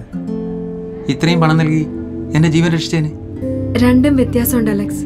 സ്വന്തം ജീവൻ പോലും നോക്കാതെയാ അലക്സ് എന്നെ രക്ഷിച്ചത്. എന്നാ എന്റെ ബാപ്പയുടെ കുറച്ച് പണം മാത്ര അലക്സിന് വേണ്ടി തന്നത്. ബാപ്പയല്ലെങ്കിൽ മറ്റാരെങ്കിലും ആ പണം നൽകും. അമ്മ ഇപ്പൊ വരും. ഡോക്ടറെ കാണാൻ പോയതാ. ഞാൻ അമ്മയെ കണ്ടിട്ടാ വരുന്നേ. അമ്മ വീട്ടിൽ പോയിട്ടേ വരുള്ളൂ. വീട്ടിൽ പോയിട്ടോ? എന്നോടൊന്നും പറഞ്ഞില്ലല്ലോ. മോൻ വിടില്ല എന്നറിയാം അതുകൊണ്ട് അമ്മ മടിച്ചു മടിച്ച് എന്നോട് ചോദിച്ചത്. ഞാൻ പറഞ്ഞു പോയിക്കോളാൻ. എന്റെ ജീവൻ രക്ഷിച്ച ആളല്ലേ? അതുകൊണ്ട് ഒരു കുഴപ്പം കൂടാതെ ഞാൻ നോക്കിക്കോളാം. അമ്മ നോക്കുന്ന പോലെന്ന് പാവം അമ്മ. എന്നാലും അമ്മ എവിടേക്കാ പോയിരിക്കുന്നതാവോ? ആ എന്ന് പറഞ്ഞാൽ എങ്ങനെ ആധാരം തിരിച്ചിരുന്നത്. നിങ്ങൾ കാറി പിടിച്ചിട്ടല്ലേ ഞാൻ പണം അറേഞ്ച് ചെയ്ത് എനിക്കിപ്പോ രൂപ വേണ്ട. എന്റെ ആധാരം തിരിച്ചു തന്നാ മതി. ആ പണം വേണ്ടെങ്കിൽ വേണ്ട. ഇതിന്റെ രജിസ്ട്രേഷൻ പേപ്പറും ഒക്കെ ആയിട്ട് കുറച്ച് പണം ചെലവായിട്ടുണ്ട്. ഏ? അധികം തിരിച്ചു തന്നിട്ട് അപ്പൊ ഞാൻ ആധാരം തിരിച്ചു തരും. ഒരു പതിനായിരം രൂപ പേപ്പറും മറ്റും ഒക്കെ ആയിട്ട് ചെലവായിട്ടുണ്ട്. കാശ് വാങ്ങിയാലും ഇല്ലെങ്കിലും ഞാൻ അവിടെ നിന്ന് പണം വാങ്ങിപ്പോയില്ലേ? ഇനി തിരിച്ചു കൊടുത്താലും ഒരു മാസം പലിശ കൊടുത്തേ പറ്റും. അതായത് അൻപതിനായിരം രൂപ. പത്തും ചേർത്ത് അറുപതിനായിരം രൂപ. എന്താ കാശുണ്ടോ? അല്ലെങ്കിൽ ദേ ആ പേപ്പറിൽ ഒപ്പിട്ടിട്ട് നാല് ലക്ഷത്തി നാൽപ്പതിനായിരം രൂപ മേടിച്ച് സ്ഥലം കിട്ടും മുതലും പലിശം തിരിച്ചു തരുമല്ലോ. അന്നേരം ആധാരം തിരിച്ചു തരാം. അതിന് ഞാൻ പണം വാങ്ങിയില്ലല്ലോ. തന്നെയല്ല പണം ചോദിച്ചപ്പോ നിങ്ങൾ ഇതൊന്നും പറഞ്ഞതുമില്ല. അന്ന് നിങ്ങൾ കേൾക്കാൻ പരുവത്തിലല്ലല്ലോ ഓടിക്കേറി വന്നത്. എങ്ങനെയെങ്കിലും കാശ് കിട്ടിയാൽ മതി എന്നായി. ഇപ്പൊ എവിടുന്ന് കിട്ടി? ഏ? എനിക്ക് എന്റെ കാശ് കിട്ടണം. എന്റെ പൊന്ന് ദേവസിയേട്ടാ ഈ പാവം സ്ത്രീയോട് ഇങ്ങനെയൊന്നും പെരുമാറല്ലേ? താൻ ആരാ ഇതിൽ ഇടപെടാ ഞാൻ ആരെങ്കിലും ആവട്ടെ. അവരുടെ ആധാരം തിരിച്ചു കൊടുക്ക്. അവർക്ക് ഹോസ്പിറ്റലിൽ പോകാനുള്ളതാ. വേഗാവട്ടെ അയ്യോ കൊടുത്തേക്കാ സാറേ. സാർ ഒരു അറുപതിനായിരം രൂപ അല്ല പിന്നെ ഒരു മുട്ടത്തലേ സഞ്ചി തൂക്കി ഇറങ്ങിയിരിക്കുന്നു. മൊലാലി. മൊലാലി. മോലാളി നോക്കിയേ. മൊലാലി. മൊലാലി. അവിടെ അവിടെയെങ്ങും ഇല്ല. മൊലാലി. മൊലാലിയേ. ഏടാ മൊലാലി കിടന്ന് സെൽഫി എടുക്കുന്നു. നമുക്ക് സെൽഫി എടുക്കാം. മോലാളി ഞങ്ങൾ അവിടെ കൂട്ടി ഒരു സെൽഫി അങ്ങ് എടുക്ക് അതെ മൊലാലി മൊലാളി മൊലാലി ഡാ ഈ കിടപ്പ് കണ്ടിട്ട് മുതലാളി സെൽഫി എടുക്കുകയല്ല പിന്നെ മുതലാളിയുടെ സെൽഫി പോയി കിടക്കുക എന്നാണ് തോന്നുന്നത് മുതലാളി ഞങ്ങളാ മുതലാളി ഞങ്ങളാ മുതലാളി ആ നീയൊക്കെ എവിടെ പോയി കിടക്കായിരുന്നു അല്ല ഞങ്ങൾ ഈ പരിസരത്ത് തന്നെ ഉണ്ടായിരുന്നു മുതലാളി അല്ല മുതലാളിക്ക് എന്ത് പറ്റി ആ ഇനി എന്ത് പറ്റാൻ? ആ. മേരിയുടെ വന്നിരുന്നു. ചുമ്മാതല്ല മുതലാളിയുടെ സെൽഫ് അടിച്ചു പോയി. ഈടാ ജോസഫും കൂടെ ഉണ്ടായിരുന്നു. ആ. എന്നിട്ട്? അവനെ ആ ആധാരം തിരികെ വേണോന്ന്. ആഹാരം ചോദിക്കാൻ തന്നെ ഹോട്ടലാണ് ആഹാരമല്ല ആധാരം തിരികെ ചോദിച്ചെന്ന്. ഞാനത് തിരിച്ചു കൊടുക്കില്ലെന്ന് തീർത്തു പറഞ്ഞു. ആധാരം കൊടുക്കില്ലെന്ന് മോലാളി തീർത്ത് അങ്ങോട്ട് പറഞ്ഞു. ഇവിടെ ഞാൻ തീർത്തും പറഞ്ഞു. എടാ അവക്ക് പണം കൊടുക്കാൻ നമ്മൾ വേറെ കുറെ പണം ചെലവാക്കിയിട്ടുണ്ടല്ലോ. ഓ പിന്നെ. ചുമ്മാ. അതാണ്. അതാണ്. പിന്നെ. ആ. ആ പണം തന്നാൽ ആധാരം തിരികെ തരാമെന്ന് പറഞ്ഞു. എന്ന് മുതലാളി ഉറപ്പിച്ചങ്ങ് പറഞ്ഞോ? ഉറപ്പിച്ചു പറഞ്ഞു. അങ്ങനെ വാക്കായി വഴക്കായി ഞാൻ. പുറത്തായി. അവരും പുറത്തേക്ക് വന്നു. പിന്നെ തൃശൂർ പൂരത്തിന് വെടിക്കെട്ട് പൊട്ടുന്ന പോലെ അവരെന്നെ എടുത്തിട്ട് ചാമ്പ്യണ ഏയ്, ഞങ്ങളില്ലാതായി പോയല്ലോ. നിങ്ങൾ ഉണ്ടായിരുന്നേ ഒലത്തിയേനെ. അല്ല ഇങ്ങനെ വെറുതെ ഒരാളെ ഇടിക്കുന്ന മോശമാണെന്നെങ്കിലും പറയാമായിരുന്നല്ലോ. ഓ ചുമ്മാ അതെടുത്ത് അകത്തിട്ടില്ല. പക്ഷെ ആ. അവസാനത്തെ ഒരു ഇടിക്ക് എന്റെ ബോധം പോയി. അത് നന്നായി. ഏത്? അല്ല മോശമായി പോയി. പണി അവൻ ബുദ്ധിമാനാണ്. ഇത് കണ്ടില്ലേ? പുറമെ ഒരു കേടുപാട് പോലും ഇല്ലാതെ അവൻ കൈകാര്യം ചെയ്തു. മുതലാളിനെ അടിച്ചവനെ ഞങ്ങളുടെ കൈ കിട്ടിയാലല്ല ആടിച്ചോടിച്ച് ചാക്കിന്റെ അകത്തിട്ട് മുതലാളിയുടെ കണ്ണിന്റെ മുമ്പിൽ കൊണ്ട് ഞങ്ങൾ ഇട്ട് തരും. സത്യം? സത്യം. സത്യം? അതുവരെ ഞാൻ മുതലാളി. എടാ, ഇരുന്ന് അസത്യം പറയാതെ അവൻ എവിടെയെങ്കിലും ഉണ്ടെങ്കിൽ പിടിച്ചോണ്ട് പാടാ അല്ല പിന്നെ അത് എന്നാ ഇനി വന്നേ. വരുവാണെ നമുക്ക് അവനിട്ട് പണി കൊടുക്കാം. നമ്മുടെ ഭാഗ്യം. വന്നാൽ അവന്റെ ഭാഗ്യം. എന്താ? അല്ല ഞങ്ങൾ പോയി കൊണ്ടുവരാന്ന് പറയായിരുന്നേ. പോടാ. ദേ പോയി. ജോസഫേട്ടാ ശരിക്കും ഇതെന്റെ രണ്ടാം ജന്മമാണല്ലേ? ഇനിയിപ്പോ അന്നേരം മരിച്ചു പോയാലും ദുഃഖമൊന്നും ഉണ്ടാവില്ലായിരുന്നു. അത്രയ്ക്ക് പാവം പിടിച്ചൊരു കുട്ടിയല്ലേ രക്ഷിച്ചത്?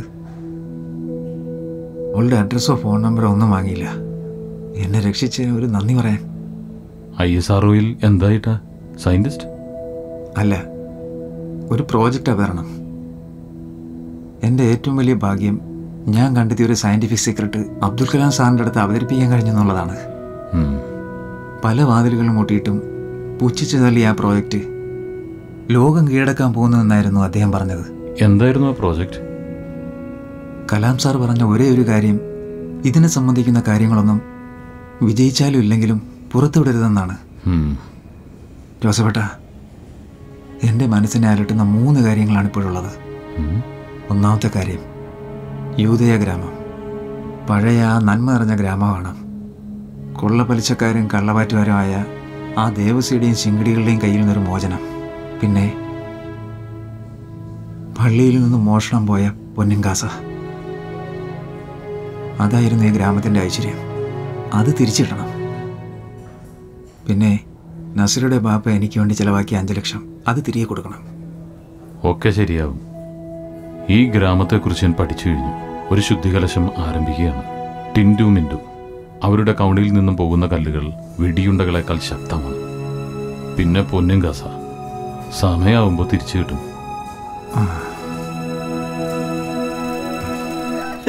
സൈക്കിളിൽ കയറാണ്ട് നടക്കുമ്പോൾ ഭയങ്കര രസമുണ്ടല്ലേ? നല്ല രസമാണ്. കല്യാണിയല്ലേ പോണത്? അതെ കല്യാണിയാണല്ലോ കല്യാണിയേ. കല്യാണിയേ? ഹാ എന്നാ പോക്കാ. ഒന്ന് നിന്നെ കല്യാണി അവിടെ ഇങ്ങനെ അങ്ങോട്ട് പോയാലോ? ഒന്ന് വർത്താനമൊക്കെ പറഞ്ഞിട്ട് ഒന്ന് ചിരിച്ചു കാണിച്ചിട്ടൊക്കെ പോ. അയ്യോ. നിന്നെയൊക്കെ ചിരിച്ചു കാണിക്കാൻ നീ ആരടാ? അത്രക്കായി അത് ശരി. എന്നരുത് ചെറുക്ക കവണക്ക് എന്നരുത് ഞാനാ പറയുന്ന കവണക്ക് എന്നരുത് ആണ്ട് അവൻ അടുത്ത് എടുത്ത്. എടാ എന്നരുത് കവണക്ക് എന്നരുത് മോനെ ഞാനാടാ പറയുന്നത് എന്നല്ലേടാ?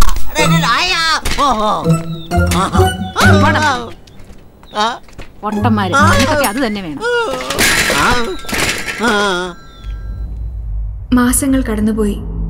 പക്ഷേ മനസ്സിലിടയ്ക്കിടയ്ക്ക് അലക്സിനെ കാണണമെന്നുള്ളൊരു മോഹം വെറുതെ തോന്നി തുടങ്ങി. പിന്നെ അത് കൂടിക്കൂടി വന്നു. ഒന്നുമല്ലെങ്കിലും ഞാനിപ്പോൾ ജീവിച്ചിരിക്കുന്നത് അലക്സ് കാരണമാണല്ലോ എന്ന് മനസ്സ് മന്ത്രിച്ചുകൊണ്ടിരുന്നു.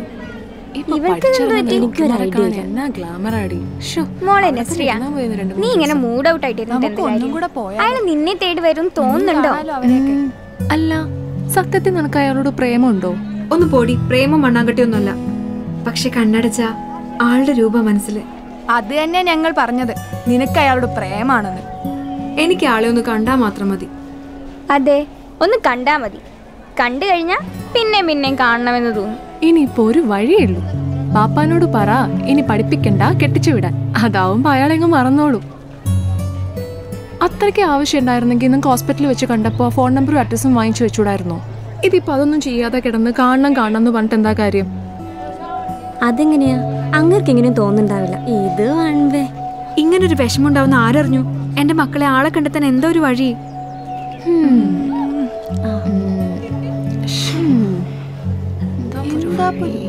ഒരു ഗുഡ് ഐഡിയ. നമുക്ക് പത്രത്തിൽ പരസ്യം കൊടുത്താലോ? ഒന്ന് പോടി. അതിന് ഫോട്ടോ വേണ്ടേ?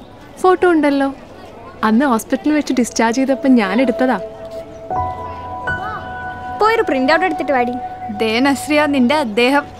നീ എന്തിനാ ഫോട്ടോ എടുത്തേ? എനിക്ക് സൗകര്യം ഉണ്ടായിട്ടാ. അതിന് സൗകര്യത്തിന് കിട്ടുന്നവരുടെ ഫോട്ടോ എടുത്താൽ മതി. ആ ഫോട്ടോ അങ്ങ് ഡിലീറ്റ് ചെയ്തേ. എനിക്ക് സൗകര്യമില്ല. ഞാൻ അയാളെ കണ്ട ഇനിയും ഫോട്ടോ എടുക്കും. പറ്റിയ ഒരു ഉമ്മയും കൊടുക്കും. നിനക്കെന്താ ചെയ്ത നിന്റെ കെട്ടിയോനൊന്നുമല്ലല്ലോ ദേ. ആ. എടി നസ്രിയ ഒരു തരത്തിലുള്ള പൊസസീവ്നെസ് ആയിരുന്നു എനിക്കപ്പോ. അലക്സിനെ കുറിച്ച് മറ്റൊരു പെൺകുട്ടി പറയുന്നതോ ചിന്തിക്കുന്നതോ പോലും എനിക്ക് സഹിക്കാൻ പറ്റില്ലായിരുന്നു. എടി നസ്രിയ ഷീക്കിത് എന്തിന്റെ കേടാ നീ കാരണം ഇതൊക്കെ? നസ്രിയ. ഏഴു നിറങ്ങൾ മഴവില്ലു തീർക്കും.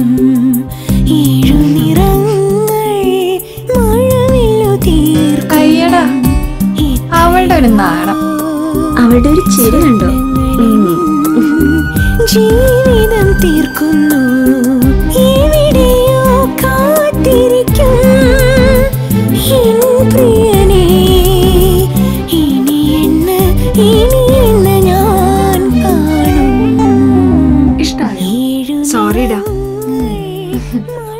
ഇതങ്ങ് ഡിലീറ്റ് ചെയ്തേക്കട്ടെ.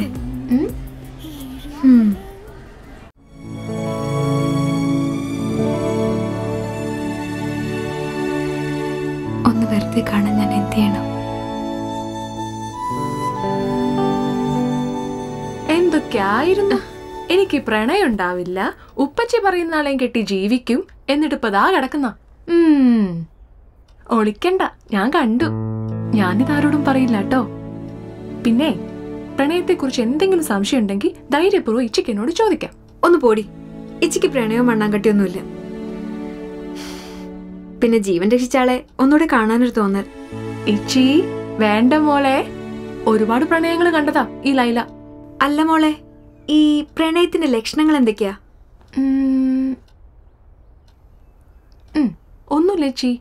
വെരി സിമ്പിൾ എന്റെ ചില ചോദ്യങ്ങൾക്ക് ഇച്ചി വ്യക്തമായ ഉത്തരം തരൂ. ഉം. ചോദ്യം ഒന്ന്. കണ്ണടച്ച ആ രൂപ എപ്പോഴും മനസ്സിൽ വരാറുണ്ടോ? ഉണ്ട്. ചോദ്യം രണ്ട്. നേരിട്ടൊന്ന് കണ്ടാ മാത്രം മതി തോന്നാറുണ്ടോ? ഉണ്ടെന്നേ. ആ അതെ. ഉറക്കത്തിൽ ആളെ കിനാവ് കാണാറുണ്ടോ? അതിന് ഉറങ്ങാൻ പറ്റിയിട്ട് വേണ്ടേ? അപ്പൊ ഉറങ്ങിയ? ആ. ബസ്സിലോ മറ്റോ യാത്ര ചെയ്യുമ്പോ?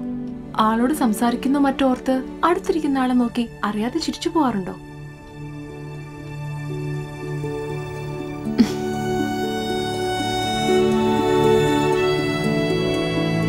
എന്റെ ഇച്ചി എല്ലാം കൈവിട്ടു പോയി. ഇച്ചി ആളോട് കടുത്ത പ്രണയത്തിലാ. എന്റെ റബ്ബേ എന്റെ ഇച്ചിയെ കാത്തോണേ. മോളെ സത്യത്തിൽ ഇച്ചിക്ക് അങ്ങനെയൊന്നുമില്ല. തന്നെയല്ല ഒരിക്കൽ പോലും അങ്ങനെയൊന്നും സംസാരിച്ചിട്ടുമില്ല. എന്റെ ഇച്ചി പാവാ. എന്റെ ഇച്ചിക്ക് ആൾ ഒരുപാട് ഇഷ്ടമാണ്. ഒക്കെ എനിക്ക് മനസ്സിലാവും. അതെ. ഞാൻ മോളോടൊരു കാര്യം ചോദിച്ചാ? ചോദിച്ചോ? അല്ലെങ്കിൽ വേണ്ട. ഞാൻ പറയാം. ആളുടെ അഡ്രസ്സോ ഫോൺ നമ്പറോ വേണം. അത് കിട്ടാൻ എന്താ വഴി തന്നെ അതെ മോളെ അത് തന്നെ. എന്തെങ്കിലും വഴിയുണ്ടോ? സിമ്പിൾ നേരെ അഡ്മിറ്റ് ചെയ്ത് ഹോസ്പിറ്റലിലേക്ക് വിട്ടോ. അവിടുത്തെ രജിസ്റ്ററിൽ ഉണ്ടാവും. ഫോൺ നമ്പറും അഡ്രസ്സും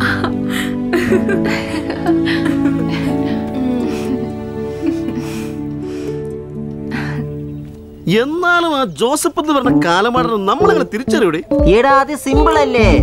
തോളിൽ ഒരു സഞ്ചി കാണും കയ്യിൽ ഒരു കാലം കൂടെ കാണും. എന്നാണല്ലോ മുതലാളി പറഞ്ഞത്. അതെ. എടാ തന്നെയല്ല ഈ ഭാഗത്തുള്ള ഒരുമാരിപ്പെട്ട ആൾക്കാരെയൊക്കെ നമുക്കറിയാം. നമ്മൾ അറിയാത്ത ആരെങ്കിലും വരുന്നുണ്ടെങ്കിൽ അതായിരിക്കും ജോസഫ്. എന്നാലും നമ്മുടെ തലക്കിട്ട് പണി തന്ന കുരുപ്പ്? ഏത് കുറിപ്പ് കുറിപ്പല്ല കുരുപ്പ്. ആ പയ്യൻ. ആ കൊച്ചിറക്കൻ അവനെ എന്റെ കൈ കിട്ടിയാലുണ്ടല്ലോ. അവനെ ഇടിച്ചു നുറുക്കി ചാക്കിന്റെ അകത്തിട്ട് ഓ ഹൊയ്. ഓ ഹൊയ് എന്ന് പറഞ്ഞു മുതലാളിയുടെ മുമ്പിൽ കൊടുക്കും അവനെ. ആടാ, ആടാ.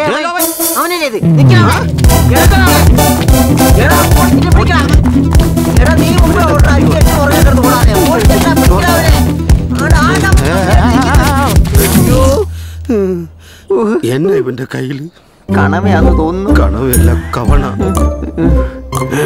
ഒന്നും ഓടിക്കണ്ട പേടിക്കൂ. എന്നാ? പേടി കൊണ്ട് പറഞ്ഞതാ. പേടിക്കണ്ട ഓടിക്കോന്ന് നമ്മളോടാ. കളി. ഒന്നും വിചാരിക്കണ്ട. ഒന്ന് കിട്ടിയിട്ട് ക്ഷീണം മാറിയിട്ടില്ല. അപ്പൊ പിന്നെ അയ്യോ. ഓടിക്കോ അയ്യോ. അയ്യോ. അവനെങ്ങനെ ഇവിടെ വന്ന്? വേണ്ട മോനെ വേണ്ട. കൈവിട്ട കളിയാണ്. മോനെ പുതിയ ക്ലാസ് അതിന്റെ ചില്ല് പൊട്ടും. വേണ്ടടാ പ്ലീസടാ കൊണ്ടാ. കൊണ്ട്. ആണ്ട് വീണ്. എടാ കവള കിടക്കില്ലടാ കൊണ്ടാ ബോധം പോകൂടാ ബോധം പോയി. ഡോക്ടറാ എന്റെ മോന്റെ ജീവൻ രക്ഷിച്ചത്. ഇതുവരെ ഡോക്ടറെ ഒന്ന് വന്ന് കാണാൻ കഴിഞ്ഞില്ല. പിന്നെ ഇതിന് പ്രതിഫലമായി തരാൻ എന്റെ കയ്യിലൊന്നുമില്ല. എന്താ മേരി? ജീവൻ രക്ഷിക്കുക എന്നുള്ളത് ഒരു ഡോക്ടറുടെ കർത്തവ്യമല്ലേ? നിങ്ങളുടെയൊക്കെ പ്രാർത്ഥനയില്ലേ? അത് മതി എനിക്കുള്ള പ്രതിഫലം. ശരി ഡോക്ടർ ഹൊയ്, ഓ ഹൊയ്, ഓ ഹൊയ്, ഓ ഹൊയ്. എടാ മോനെ എടാ ചാക്കി കിടക്കുന്നവനെ. നിന്റെ അവസാനം അടയുന്നു കുറെ നാളായി നിന്നെ അന്വേഷിച്ച് നടക്കാൻ തുടങ്ങിയിട്ട് അവിടെ ചെന്നോട്ടടാ നിന്നെ ശരിയാക്കി തരാം. ഓ വീട്ടിൽ പട്ടിണിയാണേലും മുടിഞ്ഞവൻ എന്നാ കനവാ? എങ്ങനെ ഇല്ലാതിരിക്കും? നമ്മളെ മുതലാണ്ട് ഇന്ന് പലിശക്ക് പലിശയ്ക്ക് പൈസ മേടിച്ച് ഇവനെ തിന്നാൻ കൊടുക്കുമല്ലേ.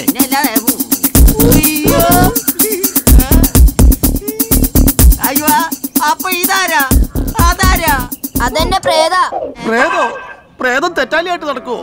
അതെ. അയ്യോ മോനെ വെടി വെക്കരുത്. വെടി വെക്കല്ലേടാ. വെടി വെക്കരുത് തോക്കല്ല. തെറ്റാലിയാ. ഒന്ന് പോടാ അവിടുന്ന് എടാ തെറ്റാലി വെച്ച് തെറ്റരുത്. തെറ്റരുത്. ഒരു തെറ്റുമില്ല കറക്റ്റാ നീ പറഞ്ഞോ തെറ്റുമില്ല. പന്നി എടാ മോനെ തെറ്റല്ലേടാ. എടാ തെറ്റല്ലേടാ. അയ്യോ. എന്നെ ഇപ്പൊ ഇവിടെ ഇട്ടിട്ട് ഓടി രക്ഷപ്പെട്ടോ? ഇല്ലെങ്കിൽ ആത്മാവും പ്രേതമൊക്കെ കിട്ടുന്ന ഓട്ടം പിടിച്ച് വീട്ടിൽ പോക്കോ. നീ വാടാവുന്നു എടാ മണ്ടന്മാർക്ക് മനസ്സിലായില്ലടാ നമ്മളെ ഇരട്ടകളാന്ന്. പൊട്ടന്മാര്. അങ്ങനെ കടയടച്ച് ഷട്ടർ ഇട്ട്. നമുക്ക് നമ്മുടെ പതിവ് പരിപാടി തുടങ്ങിയാലോ? ശശി പോയാ. ശശി പോയാ. ശശി പോയി. എന്നാ നമുക്ക് തുടങ്ങാം. ഞാൻ തൊണ്ണൂറ്റി രണ്ടിൽ മദ്രാസ് കമ്പനി നടത്തുന്ന സമയത്ത് മദ്രാസിലെ കമ്പനി നടത്തിയിരുന്ന? മദ്രാസിലേക്ക് കമ്പനി ഉണ്ടായിരുന്നു. ബാംഗ്ലൂർ കമ്പനി ഉണ്ടായിരുന്നു. മൈസൂർ കമ്പനി ഉണ്ടായിരുന്നു. എന്തിന് കൊച്ചിയിലെ കമ്പനി ഉണ്ടായിരുന്നു വെള്ളടി കമ്പനി എന്ത് കമ്പനി? ഇത് കാണുമ്പോഴേ എനിക്ക് മദ്രാസ് ഓർമ്മ വരും. ഇതേ സെയിം സാധനം മദ്രാസിൽ അടിച്ചിട്ടുണ്ട് നിനക്കൊക്കെ ഇങ്ങനെ പറയാം. എനിക്കാ നഷ്ടപ്പെട്ടത്. ഞാൻ ഞാൻ നഴ്സിനെ ഇങ്ങനെ വളച്ച് വളച്ച് ഉപ്പിന്നായപ്പോഴാ ഇവിടെ ഡിസ്ചാർജ് ചെയ്തു ഒന്ന് പോടാ അവിടുന്ന്. എന്താടി? നിന്നെ തെരുവുനായി ഓടിച്ചിട്ടാ? അതെ നസ്രിയ നിന്റെ ആളെ ഞാൻ കണ്ടു. സെവന്ത് സെമ്മിൽ ക്ലാസ് എടുക്കുന്നുണ്ട്. ഏയ് ഷാറൂഖെ എടാ നിന്നോട് പറയരുത് എന്ന് പറഞ്ഞതുകൊണ്ടാണേ. ഇത് ആരാന്ന് പറയ് അന്ന് അപകടത്തിൽ നസ്രിയെ രക്ഷിച്ചയാൾ ഇപ്പൊ കക്ഷിക്ക് അയാളെ മതി. മൊത്തത്തിൽ ഭ്രാന്ത് പിടിച്ച് നടക്കുക അതാണ് അവളത്ര മൂടോട്ടായിട്ട് വെച്ചത് എന്നോട് പറഞ്ഞെങ്കിൽ ഞാൻ എപ്പോഴും മുമ്പിൽ കൂട്ടിട്ട് കൊടുത്തന്നെ. ഇപ്പൊ നമ്മ ശശിയായി.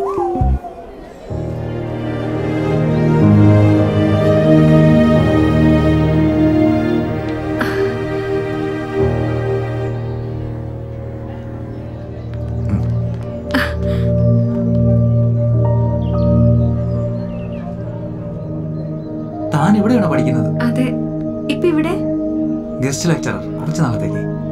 ഞാൻ ക്ലാസ് കഴിഞ്ഞ് പുറത്തേക്ക് വരാം. അപ്പൊ സംസാരിക്കാം. ഓക്കെ ആ ആ, കല്യാണി കല്യാണി. കല്യാണി അവിടെ അവിടെ അവിടെ അവിടെ.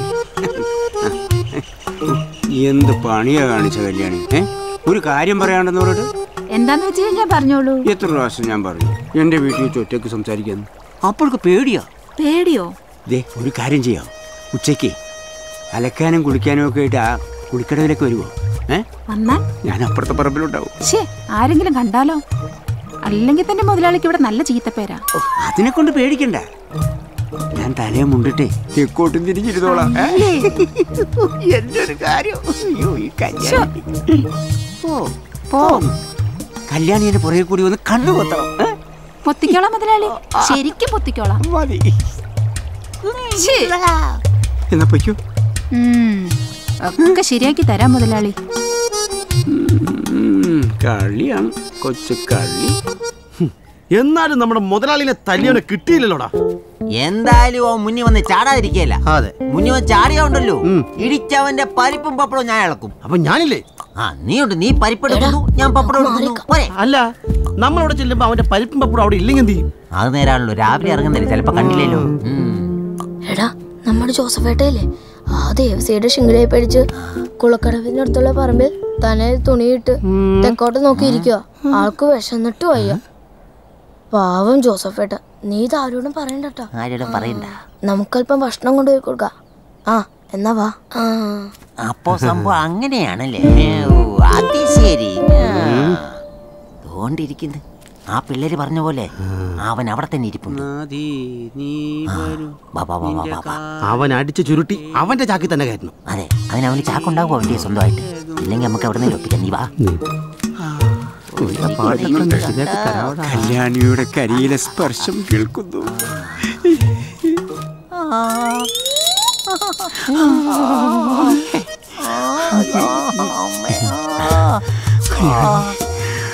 നീ എന്നെ കണ്ണു കൊത്തു ഞാൻ പയ്യെ കണ്ണു കുത്തിക്കോളാം നീ എന്താ ഇടിച്ചോണം. പൊത്തുവാണ്. അതൊക്കെ പുറകോട്ട് മാറി അടിച്ചോടിക്കടാ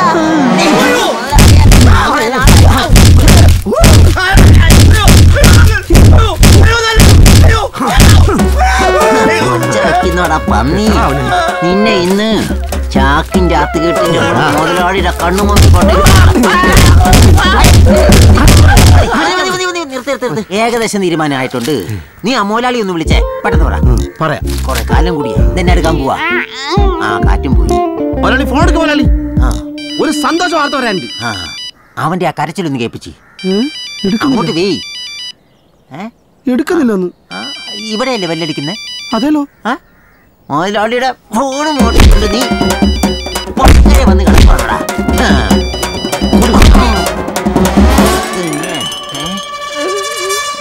അയ്യോ. എടാ ഇത് ഞാനാടാ മുതലാളി എങ്ങനെ ഇവിടെ വന്ന്? മുതലാളി ഒരാൾ വന്നപ്പം മുതലാളി എന്നെ ഒന്ന് ഹോസ്പിറ്റലിൽ കൊണ്ടുപോടാ മുതലാളി എന്നോട് എന്തോ പറയാനുണ്ടല്ലോ. ഏയ് ഒന്നുമില്ല മോളെ. അല്ല എന്തോ ഉണ്ട്. ആ മോൾ അന്ന് പറഞ്ഞ കാര്യം എന്തായി? ഇച്ചി പ്രണയം സൂപ്പറായിട്ട് നടക്കുന്നുണ്ട്. ഞാനെന്ന് വെച്ച ജീവന. മറ്റു കുഴപ്പമെന്തെങ്കിലും? ഒന്നുമില്ല പക്ക ഡീസന്റ് കക്ഷിക്ക് ഇപ്പൊ എന്റെ കൈ കൊണ്ട് നമ്മുടെ നെയ്ച്ചോറും ഇറച്ചി ഉണ്ടാക്കി കൊടുക്കണം. അതാണ് ഇപ്പോഴത്തെ ഡിമാൻഡ്. എങ്കിൽ നാളെ തന്നെ ഇവിടുന്ന് ഉണ്ടാക്കി കൊണ്ടുപോയിക്കൂടെ? അതല്ല രസം. കക്ഷി എന്നെ പറ്റി വീട്ടിൽ പറഞ്ഞു. അമ്മയ്ക്കും അച്ഛനും എന്നെ കാണണമെന്ന് അതിനെ അവിടെ ചെല്ലുമ്പോ എന്റെ കൈ കൊണ്ട് വെച്ചുണ്ടാക്കി കൊടുത്താൽ മതി കക്ഷിയുടെ ഡിമാൻഡ്. വീട്ടിൽ പോവാനോ? മോളെ അത് സൂക്ഷിക്കണം. എന്റെ ഇച്ചി എന്റെ എല്ലാ പരീക്ഷണങ്ങളിലും വിജയിച്ച കക്ഷി. ഞാൻ അങ്ങോട്ട് ടച്ച് ചെയ്താൽ പോലും ഒഴിഞ്ഞു മാറുന്ന ആൾ പഞ്ചപാവം. അതോർത്ത് ഇച്ചി പേടിക്കണ്ട. എന്നാലും സൂക്ഷിക്കണം. അങ്ങനെയാണെങ്കിൽ വീട്ടിൽ പോകുമ്പോൾ ഞാനും കൂടെ വരാം. അതൊക്കെ പിന്നെയുള്ള കാര്യമില്ല ഇച്ചി ഇപ്പൊ ഇച്ചിയുടെ പ്രശ്നം പറ. ഇച്ചയാളെ കണ്ടല്ലേ? കണ്ടു മോളെ. ഇനി കുറച്ചു ദിവസം അദ്ദേഹം ഞങ്ങളുടെ കോളേജിൽ ഗസ്റ്റ് ലെക്ചർ ആയിട്ടുണ്ടാവും ഇച്ചിക്ക് ആളെ കണ്ടാ മതിയായിരുന്നല്ലോ. ഇപ്പൊ സന്തോഷായില്ലേ? ഇപ്പൊ കൂടുതൽ പ്രശ്നമായി നീ പറഞ്ഞ പോലെ ഇത് പ്രണയാന്ന് തോന്നുന്നു. തോന്നല്ലോ. ആണ്. ഇതിപ്പോ ഞാൻ എങ്ങനെ അവിടെ പറയാ? എന്റെ ഇച്ചി പ്രണയ ആദ്യം പറയണത് നമ്മളല്ല ആണുങ്ങളാ. നമ്മളത് അവർ കൊണ്ട് പറയിപ്പിക്കണം. ഇതൊക്കെ ആരുണ്ടാക്കി വെച്ച നിയമങ്ങളാ? എനിക്ക് അങ്ങനെ സഹിക്കാൻ പറ്റൂല. മറ്റു വല്ല പെൺകുട്ടികളെ മനസ്സിൽ കയറിയ എന്റെ റബ്ബേ എനിക്ക് ഓർക്കാൻ കൂടെ പറ്റൂല. ഒന്നും ഉണ്ടാവില്ല ഇച്ചി. അയാൾ ഒരു പാവാ. അയാളോ? ദേ ഇക്കാന്ന് വിളിച്ചോളണം. ഓഹോ ഇപ്പൊ അങ്ങനെയൊക്കെ ആയോ? ഇനി ഞാൻ എന്ത് ചെയ്യണം മോളെ? എന്റെ ഇഷ്ടമൊന്ന് അവിടെ അറിയിക്കാൻ. എന്റെ ഇച്ചി ഇപ്പൊ ആൾ അടുത്ത് തന്നെ ഇല്ലേ? കാത്തിരിക്കെ അവസരം വരും. ഞങ്ങൾ പലപ്പോഴും കണ്ടു സംസാരിച്ചു. പക്ഷേ ഒരിക്കൽ പോലും അലക്സിന്റെ അടുത്തുനിന്ന് പ്രണയത്തിന്റെ ഒരു സൂചന പോലും കിട്ടിയില്ല. എന്റെ പ്രണയം എന്റെ ഇഷ്ടം. എല്ലാം അലക്സിനോട് തുറന്നു പറയാൻ അവസാനം ഞാൻ തീരുമാനിച്ചു. എന്തായിരിക്കും അലക്സിന്റെ പ്രതികരണം? അതായിരുന്നു എന്റെ പേടി. എന്താ? ഇങ്ങനെ നോക്കുന്നേ? ഒന്നുമില്ല. എന്തോ അലക്സിനെ കാണുമ്പോൾ ഈ മുഖത്തേക്ക് ഇങ്ങനെ നോക്കിയിരിക്കാൻ തോന്നും. വീട്ടിൽ ചെല്ലുമ്പോൾ അലക്സിനെ കാണണം എന്ന് തോന്നും. കണ്ടു കഴിയുമ്പോൾ പിന്നെ ഒന്നുമില്ല. ഇനി വല്ല പ്രണയവും മറ്റോ ആണോ? നോ ചാൻസ് അതെന്താ? ഈ കാലഘട്ടത്തിലെ സുന്ദരിയും സമ്പന്നയും ഒരു പെൺകുട്ടിയെ താൻ. എന്നെ പോലൊരു പാവപ്പെട്ട ആളെ. അതുകൊണ്ടാണ് ഞാൻ പറഞ്ഞത് നോ ചാൻസ് അതുപോട്ടെ എന്താ താ കാണണമെന്ന് പറഞ്ഞത്?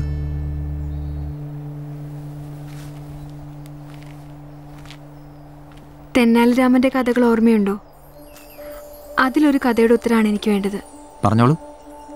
തെന്നാലിരാമനെ വധിക്കാനായി ഉപായം അന്വേഷിച്ച് കണ്ടെത്തുന്ന രാജാവ്. അദ്ദേഹം ഉൾപ്പെടെ അൻപത് പേർക്ക് പൂച്ചക്കുട്ടികളെ വളർത്താൻ കൊടുത്തു. ഒരു കണ്ടീഷൻ. കൃത്യം ഒരു മാസത്തെ പരിശീലനം പൂച്ചക്കുട്ടികൾക്ക് കൊടുക്കാം. അതിനുശേഷം രാജസന്നിധിയിൽ ഈ പൂച്ചകൾക്ക് പാൽ കൊടുക്കും. പാൽ കുടിക്കുന്ന പൂച്ചകളുടെ പരിശീലകനെ രാജാവ് വധിക്കും. അതായിരുന്നു കണ്ടീഷൻ. കൃത്യം ഒരു മാസം. രാജാവിന്റെ മുന്നിൽ വെച്ച് പൂച്ചകൾക്ക് പാൽ കൊടുത്തു പക്ഷേ തെന്നാലിരാമന്റെ പൂച്ചയൊഴികെ ബാക്കി എല്ലാ പൂച്ചകളും പാൽ കുടിച്ചു തെന്നാലിരാമന്റെ പൂച്ച മാത്രം പാൽ കുടിച്ചില്ല എന്തുകൊണ്ടാ രാജാവിന്റെ തന്ത്രം പാളിയത്? താൻ എന്തിനാ പഠിക്കുന്നത്? അത് ഞാനൊന്ന് പറഞ്ഞതല്ലേ? എടോ ഇതൊക്കെ ഏത് കുട്ടികൾക്ക് അറിയാൻ പാടില്ലാത്തത്? എന്നാ പറ. അതെ മറ്റെല്ലാവരും പൂച്ചയ്ക്ക് പാൽ കൊടുക്കുമ്പോൾ തല്ലി കുടിപ്പിക്കാതിരിക്കാൻ പരിശീലിപ്പിച്ചു. പക്ഷെ തെന്നാലി രാമൻ നല്ല ചൂട് പാല പരിശീലനത്തിന് ഉപയോഗിച്ചത്. മനസ്സിലായോ? തെന്നാലി തെന്നാലിരാമന്റെ പൂച്ചയുടെ അവസ്ഥ പോലും എന്ത് പെട്ടെന്നാ മനസ്സിലാവുന്നേ? ഇവിടെ ഒരു പെണ്ണ് മാസങ്ങളോളം തീർന്നിരിക്കുന്ന കാര്യം മാത്രം അലക്സിന് മനസ്സിലാവുന്നില്ല. നസ്രിയ ഒന്നും മനസ്സിലാവഞ്ഞിട്ടല്ല. നിന്റെ പ്രണയം കാണാത്തോണ്ടുമല്ല. ഇതൊരു പ്രണയമായാൽ അതിന്റെ പ്രായോഗികത കൂടി നമ്മൾ ചിന്തിക്കണ്ടേ? പ്രായോഗികത മണ്ണാങ്കട്ട. ഇതിലും ഭേദ ട്രെയിന് മുന്നിൽ തീരുന്നായിരുന്നു. താൻ എന്താ ഇങ്ങനെ? ഇതിന്റെ കോൺസിക്വൻസ് താൻ ആലോചിക്കുന്നുണ്ടോ? കോൺസിക്വൻസ് ഒന്ന് പോ അലക്സ്. എനിക്ക് ഒറ്റ കാര്യം അറിഞ്ഞാൽ മതി. അലക്സിന് എന്നെ ഇഷ്ടമാണോ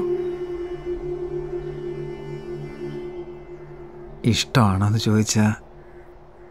എന്റെ ജീവിതത്തിലെ ഏറ്റവും സന്തോഷകരമായ ദിവസം അലക്സ് എന്റേതാണെന്ന് ഉറപ്പായ നിമിഷം. പറഞ്ഞറിയിക്കാനാകാത്ത ഒരു ശാന്തത മനസ്സിൽ നിറഞ്ഞു.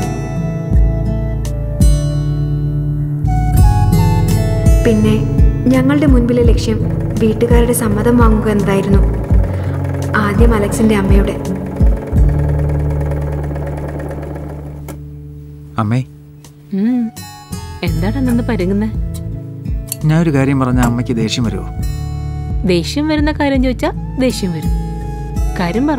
അമ്മ ആ കുട്ടി എങ്ങനെയുണ്ട്? ഏത് കുട്ടി? ആ ആ കുട്ടി നസ്രിയ. ആ കുട്ടി എങ്ങനെയുണ്ട് അമ്മേ?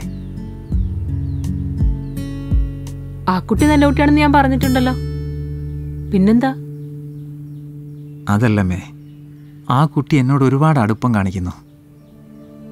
നീയോ? സത്യം പറഞ്ഞ അവളുടെ സ്നേഹം കാണുമ്പോൾ എനിക്ക് പേടിയാവുന്നു. എന്റെ മനസ്സിലെ നീ ഒരു പാവമാണല്ലോടാ. ഒരു പെണ്ണിനെ നിനക്ക് ഇഷ്ടപ്പെടണമെങ്കിൽ അതിനും അമ്മയുടെ അനുവാദം ചോദിക്കണോ? അതുകൊണ്ടല്ലമ്മേ എങ്ങനെയാലും എന്റെ അമ്മയുടെ മുഖം മാറുന്നത് എനിക്ക് സഹിക്കാൻ കഴിയില്ല. ആ കുട്ടിയാണെങ്കിൽ കൂടുതൽ വിഷമിപ്പിക്കുകയാണ്. ഞാൻ ആ കുട്ടി ഇഷ്ടപ്പെട്ടു പോയാൽ അമ്മ എന്നെ വെറുക്കോ? എടാ നിനക്ക് ശരിയെന്ന് തോന്നണമെന്ന് നിനക്ക് ചെയ്യാം. ഇക്കാര്യത്തിലും അങ്ങനെ തന്നെ. ഇനി എന്നെ പേടിച്ച് നീ ആ കുട്ടിയുടെ സ്നേഹം കണ്ടില്ലെന്ന് നടിക്കരുത്. പക്ഷേ സ്നേഹിക്കുന്നത് സത്യത്തെ മുൻനിർത്തിയായിരിക്കണം. അതുപോലെ ആ കുട്ടിക്ക് നിന്നോട് സ്നേഹമുണ്ടെങ്കിൽ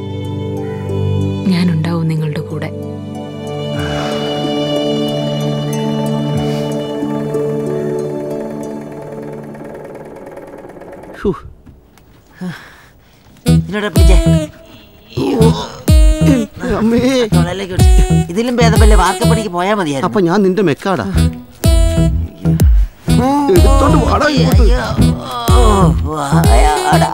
ഡാൻസ് കളിക്കുന്നത് ബാക്കി നമുക്ക് പിന്നെ വന്നെടുക്കാം പിന്നെ എന്റെ പട്ടി വന്നെടുക്കും നിന്റെ പട്ടി ഒരു കന്നാസൊക്കെ എടുക്കും അതിന്? നീ ഒറ്റ ചവിട്ടാൻ വെച്ചെന്നാണല്ലോ അയ്യോ ശരിക്കും അങ്ങോട്ട് കൊടുത്തോ. പ്ലാസ്റ്റിക് ജാർ പൊട്ടണം. ശരി.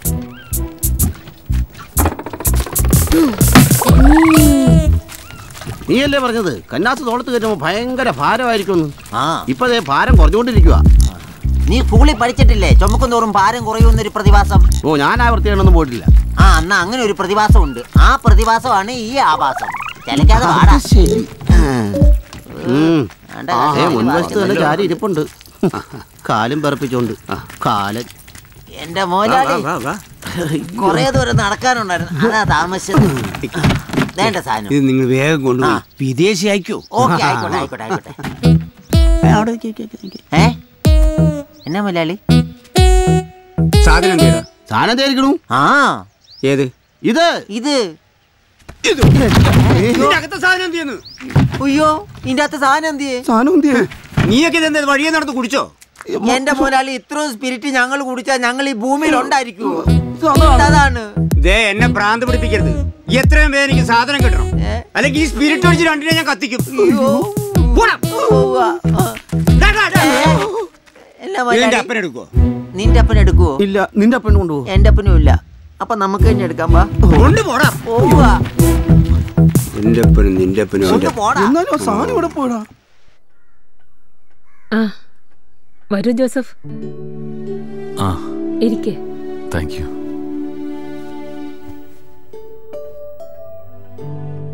നസ്രിയും അലക്സും തമ്മിലുള്ള ബന്ധം നമ്മൾ വിചാരിക്കുന്നതിനപ്പുറത്താണ്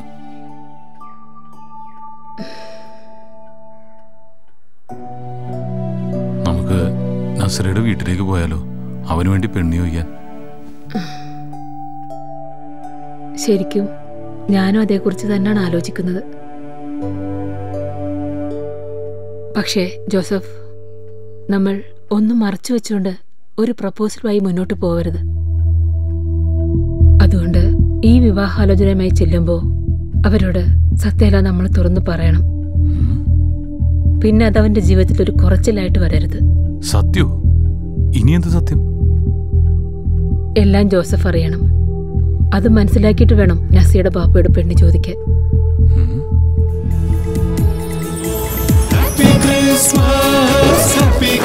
അന്നൊരു ക്രിസ്മസ് രാവായിരുന്നു. ചെറുപ്പത്തിലെ വിധവയാവേണ്ടി വന്നവൾ. പിന്നെ പിന്നെ പ്രലോഭനങ്ങളിലേക്ക്. തെറ്റുകളിൽ നിന്ന് തെറ്റുകളിലേക്കുള്ള യാത്രക്കിടയിൽ എപ്പോഴും മനസ്സിൽ തോന്നി തുടങ്ങി ഈ ജീവിതത്തിന് ഒരർത്ഥം വേണമെന്ന്. അന്ന് ഞാൻ അവനെ ആദ്യമായി കണ്ടു. ആരാലോ ഉപേക്ഷിക്കപ്പെട്ട ഒരമ്മ തൊട്ടിലിന് മുന്നിൽ.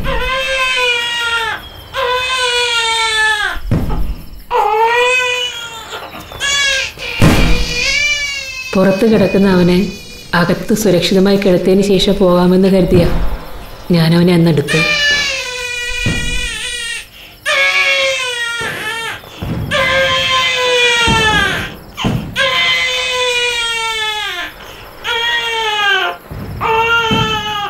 പക്ഷേ അവനെ ഞാൻ കിടത്തും തോറും അവൻ എന്നെ മുറുകെ പിടിക്കുകയായിരുന്നു. ഒരിക്കലും ഉപേക്ഷിക്കരുതേ എന്ന് യാചിക്കും പോലെ. അവസാനം ഞാൻ തീരുമാനിച്ചു ഇവനെ ഞാനിനി ആർക്കും വിട്ടുകൊടുക്കില്ല ഇവൻ ഇനി എന്റെ മകനായി വളരും.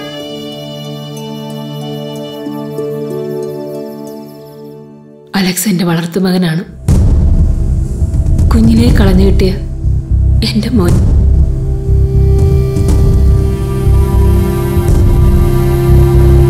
അന്ന് ഞാൻ ആ നാട് വിട്ടു.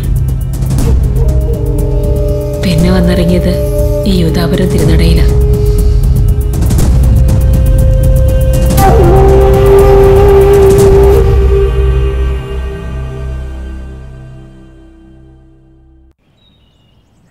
എനിക്കിപ്പോൾ എന്റെ അമ്മയോട് കൂടുതൽ സ്നേഹം തോന്നുന്നു.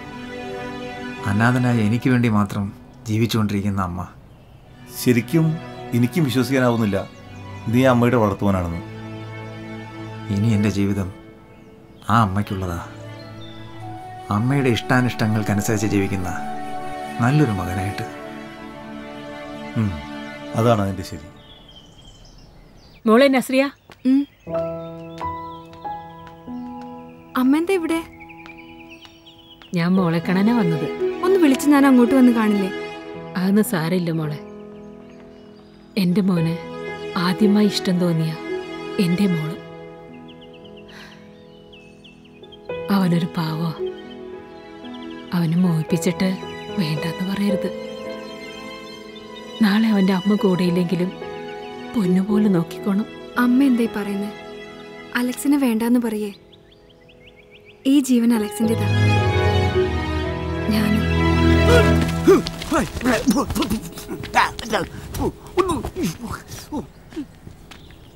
ഒരു പെരുമാർക്കാൻ ഒരു സ്ഥലം.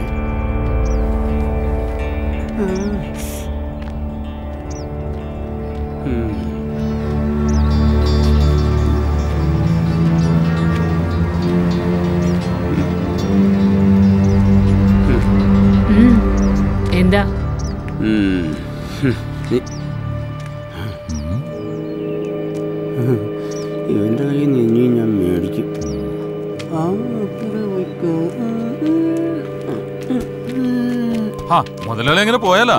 ഇവിടെ ഇവിടെ, ഇവിടെ ഓയ്യോ ഇതിന്റെ തലക്ക് തന്നെ സുഖമില്ലേ ഏ?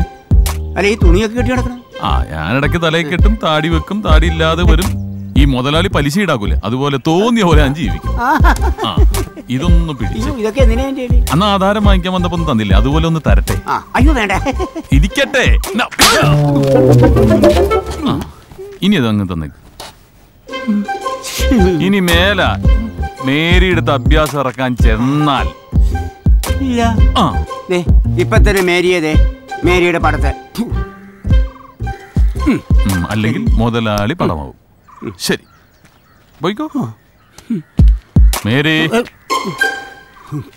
ജോസഫ് ഞാൻ പോയിക്കോട്ടെ. പോയിക്കോളൂ. മേരി.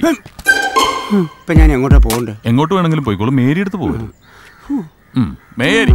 പോടാ. സമ്മതാണെന്നോ? നൂറ് വട്ടം സമ്മതം. സ്നേഹിക്കുന്ന മനസ്സുകൾ തമ്മിലല്ലേ ജോസഫെ ഒന്നിക്കേണ്ടത്? ഇനി കല്യാണം. ആ അതിനു മുമ്പേ ഓർപ്പിക്കാൻ ഞാനും നസ്രിയാന്റെ ഉമ്മച്ചിയും കൂടി അവിടേക്ക് വരുന്നു എന്ന് പറഞ്ഞോ? ഇരു കൂട്ടർക്കും കുഴപ്പമില്ലാണ്ട് വേണമല്ലോ എല്ലാം നടത്താൻ. അപ്പൊ ജോസഫെ ബാക്കിയൊക്കെ അവിടെ വന്നിട്ട് തീരുമാനിക്കാം. ഞാൻ ഇന്നലെ ഇരുന്നൂറ്റമ്പത് രൂപ പച്ചക്കറി വാങ്ങിച്ചിട്ടേ. ദേ എന്റെ മടിയിൽ വെച്ചാ തന്നത്. ഇതിപ്പോ അമ്പത് രൂപ അല്ലേ ചേട്ടന്റെ ഭാഗ്യമാണ്. ഒരു ഫോൺ തന്നെ ഹലോ? പിരിച്ചെടുത്ത പൈസ? എടാ ഞാൻ പാർട്ടി ഫണ്ടിലേക്ക് കൊടുത്ത്. എന്റെ അമ്മച്ചേണ ജ്യൂസ് ഞാൻ എടുത്തിട്ടില്ല. പിന്നെ പാർട്ടിക്ക് കൊടുക്കും പിന്നെ പാർട്ടിക്ക് കൊടുക്കണ്ടേ? ഞങ്ങളുടെ പാർട്ടിക്കല്ല. വെള്ളടി പാർട്ടിക്ക്. പറയണ്ട. ചായ കുടിച്ചിട്ട് വാ. ഏ ഞാനില്ല. ഞാനില്ല? ഞാൻ. വരൂല. എന്നെ നിർബന്ധിക്കരുത്. പ്ലീസ് ഞാൻ വരില്ല. പച്ചക്കറിക്കൊക്കെ എന്ത് വില? ആ മത്തച്ചേട്ടൻ ഇവിടെ എല്ലാം റെഡിയാണല്ലോ അല്ല ശരിക്കും നമ്മുടെ അലക്സ് മോൻ എന്താ പറ്റിയത്? അവൻ നല്ല വിവരമുള്ളവനല്ലേ? എന്റെ മത്തായി മുതലാളി പ്രേമം തലക്ക് പിടിച്ചാ പിന്നെ ദേ ചായയും കാപ്പി ഒരുപോലെ. പിന്നെ എന്ത് പ്രേമിച്ച എക്സ്പീരിയൻസ് ഉള്ള ആളാ? ഒന്ന് പോടാ അവിടെ ഒന്ന് നീങ്ങിരുന്ന് മുടക്കടാ തനിക്കായിക്കൂടെടോ. New generation മിണ്ടണ്ട. ദേ, ഞാൻ ശശി ഇവിടെ ഇരുന്നോളാം. സാറേ ഈ സാധനങ്ങൾ എടുത്ത് അകത്തേക്ക് വെച്ചേ. ഏ? യെസ് ബ്രോ അല്ല മത്തായി ചേട്ടാ ഈ ശശിനൊക്കെ സാറിനാ വിളിക്കണത്? അതിന്റെ ശരിയായ അർത്ഥം അവന് മനസ്സിലായിട്ടോ ഇപ്പൊ ഞങ്ങൾക്ക് മനസ്സിലായി. അല്ല മുസ്തഫ ശരിക്കും ഒരു മുസ്ലിം പെണ്ണിനെ ഒരു ക്രിസ്ത്യൻ യുവാവിന് വിവാഹം കഴിക്കാൻ പറ്റൂ എന്റെ മത്തായി ചേട്ടാ നിങ്ങൾ എന്തറിഞ്ഞിട്ട് ഈ പറയണത്? നമ്മുടെ ജാതിപ്പെട്ട ഒരു പെണ്ണിനെ സ്വന്തമാക്കണമെങ്കിൽ പൊന്നാനി പോയി വേദം പഠിച്ച് പൂർണ മനസ്സോടെ ഇസ്ലാമാകണം. എന്നാലേ നിക്കാഹ് അടുക്കുള്ളൂ മനസ്സിലായി. Cigarette cigarette. അല്ല വെട്ടിക്കുഴി ഇതിന് രാഷ്ട്രീയപരമായി എന്തെങ്കിലും പരിഹാരമുണ്ടോ? പരിഹാരമുണ്ട്. ഇങ്ങ അടുത്ത് വച്ചോ ഈ പറഞ്ഞുതരാം. ഇതെന്ത് വൃത്തിയായിട്ട് പരിഹാരമാണ്? ആ ഇങ്ങനെയും ചില പരിഹാരങ്ങളൊക്കെ ഉണ്ട്? അല്ല ശരിക്കും ആ പെണ്ണിന്റെ വാപ്പ സമ്മതിച്ചല്ലേ ഈ കല്യാണത്തിന്? അത് ഞമ്മക്കറിയില്ല. എന്തേ? അല്ല ശരിക്കും നിക്കാഹ് നടത്താനായിട്ട് പെണ്ണിന്റെ വാപ്പ സമ്മതിച്ചാണല്ലോ അയാൾക്ക് ഇതൊക്കെ അറിയാത്താണോ? അതാണ് ഞമ്മക്കും മനസ്സിലാകാത്തത്. എനിക്കൊന്നും മനസ്സിലായില്ല. അല്ല കുമാരനകത്തൊന്നും പറയാനില്ല? എന്തൊക്കെയായാലും ഈ കല്യാണം നടക്കാതിരിക്കണം. നോക്കാം. ആ, ആ, ആ, ആ, ഈ പറഞ്ഞതിലൊരു കല്യാണം മുടക്കണ സൂചന ഇല്ലേ ഇല്ലേ മത്തായി ചേട്ടാ? ഒന്ന് പോതാം ശരിക്കും ഈ പോയ കുമാരനും അലസ് എന്ന് പറഞ്ഞു കഴിഞ്ഞാൽ സഹോദരങ്ങളെ പോലെയാണ്. Yes, bro. ഓ സാറേ. താങ്ക്സ് ശശിക്ക് കിട്ടേണ്ടത് കിട്ടിക്കഴിഞ്ഞപ്പോ അടങ്ങി. ജീവിതത്തിൽ ആദ്യമായി ഒരാളോട് ഇഷ്ടം തോന്നുക അതും വ്യത്യസ്ത മതങ്ങളിൽപ്പെട്ടവർ. കുറച്ച് കാത്തിരുന്നിട്ടാണെങ്കിലും അയാളുടെ ഇഷ്ടം കിട്ടുക ജീവന് തുല്യം പ്രണയം തരിക തടസ്സമുണ്ടാവുന്ന കരുതി വിവാഹത്തിന് വീട്ടുകാരുടെ സമ്മതം കിട്ടുക എല്ലാ അള്ളാഹുവിന്റെ വലിയ കൃപ. എല്ലാം തന്റെ മനസ്സിന്റെ പുണ്യമാണ്. അല്ല അലക്സ്. അലക്സിന്റെ നിഷ്കളങ്കമായ മനസ്സ് സ്വന്തം ജീവനേക്കാൾ മറ്റുള്ളവരുടെ ജീവന് വില കൊടുക്കുന്ന സ്നേഹം ശരിക്കും ഒരു സ്വപ്നം പോലെ തോന്നുന്നു. അതെ. ഇനി മനസ്സിറച്ച് സ്വപ്നം കാണാലോ? കല്യാണം വീട് വീട് നിറയെ കുട്ടികൾ. വീട് നിറയെ കുട്ടികളോ? അതെ മോളെ. ഒരുപാട് കുട്ടികൾ. ഒരുപാടെന്ന് വെച്ചാ? ഹോ ഒറ്റയ്ക്കുള്ള ഒരു ജീവിതം. ഞാൻ എന്തുമാത്രം കൊതിച്ചിട്ടുണ്ടെന്നോ? ഒരു അനിയത്തിയെയോ ചേട്ടനെയോ. ഈശ്വര ഇപ്പോഴാണ് എനിക്ക് ഈ സൗഭാഗ്യമൊക്കെ തന്നത്. അപ്പൊ എത്ര പിള്ളേര് വേണം? ഒരു പത്തെണ്ണം. ഒരിക്കലും മറക്കാനാവാത്ത കുറേ പ്രണയ നിമിഷങ്ങൾ. എന്റെ ലൈലമോൾ പറഞ്ഞത് എത്ര ശരിയാ? പ്രണയം. അതെന്തെന്നറിയണമെങ്കിൽ ഒരിക്കലെങ്കിലും ഒന്ന് പ്രണയിക്കണം. ആ നൊമ്പരം തിരിച്ചറിയണം. ആ സുഖമുള്ള നോവ് ഒരിക്കലും പറഞ്ഞറിയിക്കാൻ വയ്യാത്തതാ. അന്ന് ഏറെ സന്തോഷത്തോടെയാണ് വാപ്പിച്ചും ഉമ്മിച്ചിയും അലക്സിന്റെ വീട്ടിലേക്ക് പോയത്. ഞങ്ങളുടെ വിവാഹം ഉറപ്പിക്കാൻ. പക്ഷേ ഏതായാലും പിള്ളേര് തമ്മിൽ ഇഷ്ടമായി ഇനി മറ്റുള്ളവരെ കൊണ്ട് അതും ഇതും പറയിപ്പിക്കണ്ടേ? നമുക്ക് ഓരോ അങ്ങോട്ട് കെട്ടിച്ചു വിടാം. അതെ. അതൊക്കെ ഇപ്പൊ ഇവിടെ വെച്ച് തീരുമാനിക്കാം. എന്നിട്ട് മറ്റുള്ളവരെ അറിയിച്ചാൽ മതിയല്ലോ. അതാ ഞങ്ങൾ ഇങ്ങോട്ട് വന്നത്.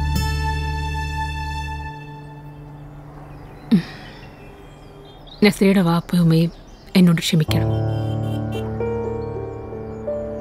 നേരത്തെ തുറന്നു പറയാതിരുന്നതിന് എനിക്ക് ഈ വിവാഹത്തിന് സമ്മതമല്ല. അമ്മ എന്തീ പറയുന്നത്? എല്ലാ അനുവാദം ചോദിച്ചിട്ടല്ലേ ജോസഫേടെ അവിടെ പോയി സംസാരിച്ചത്?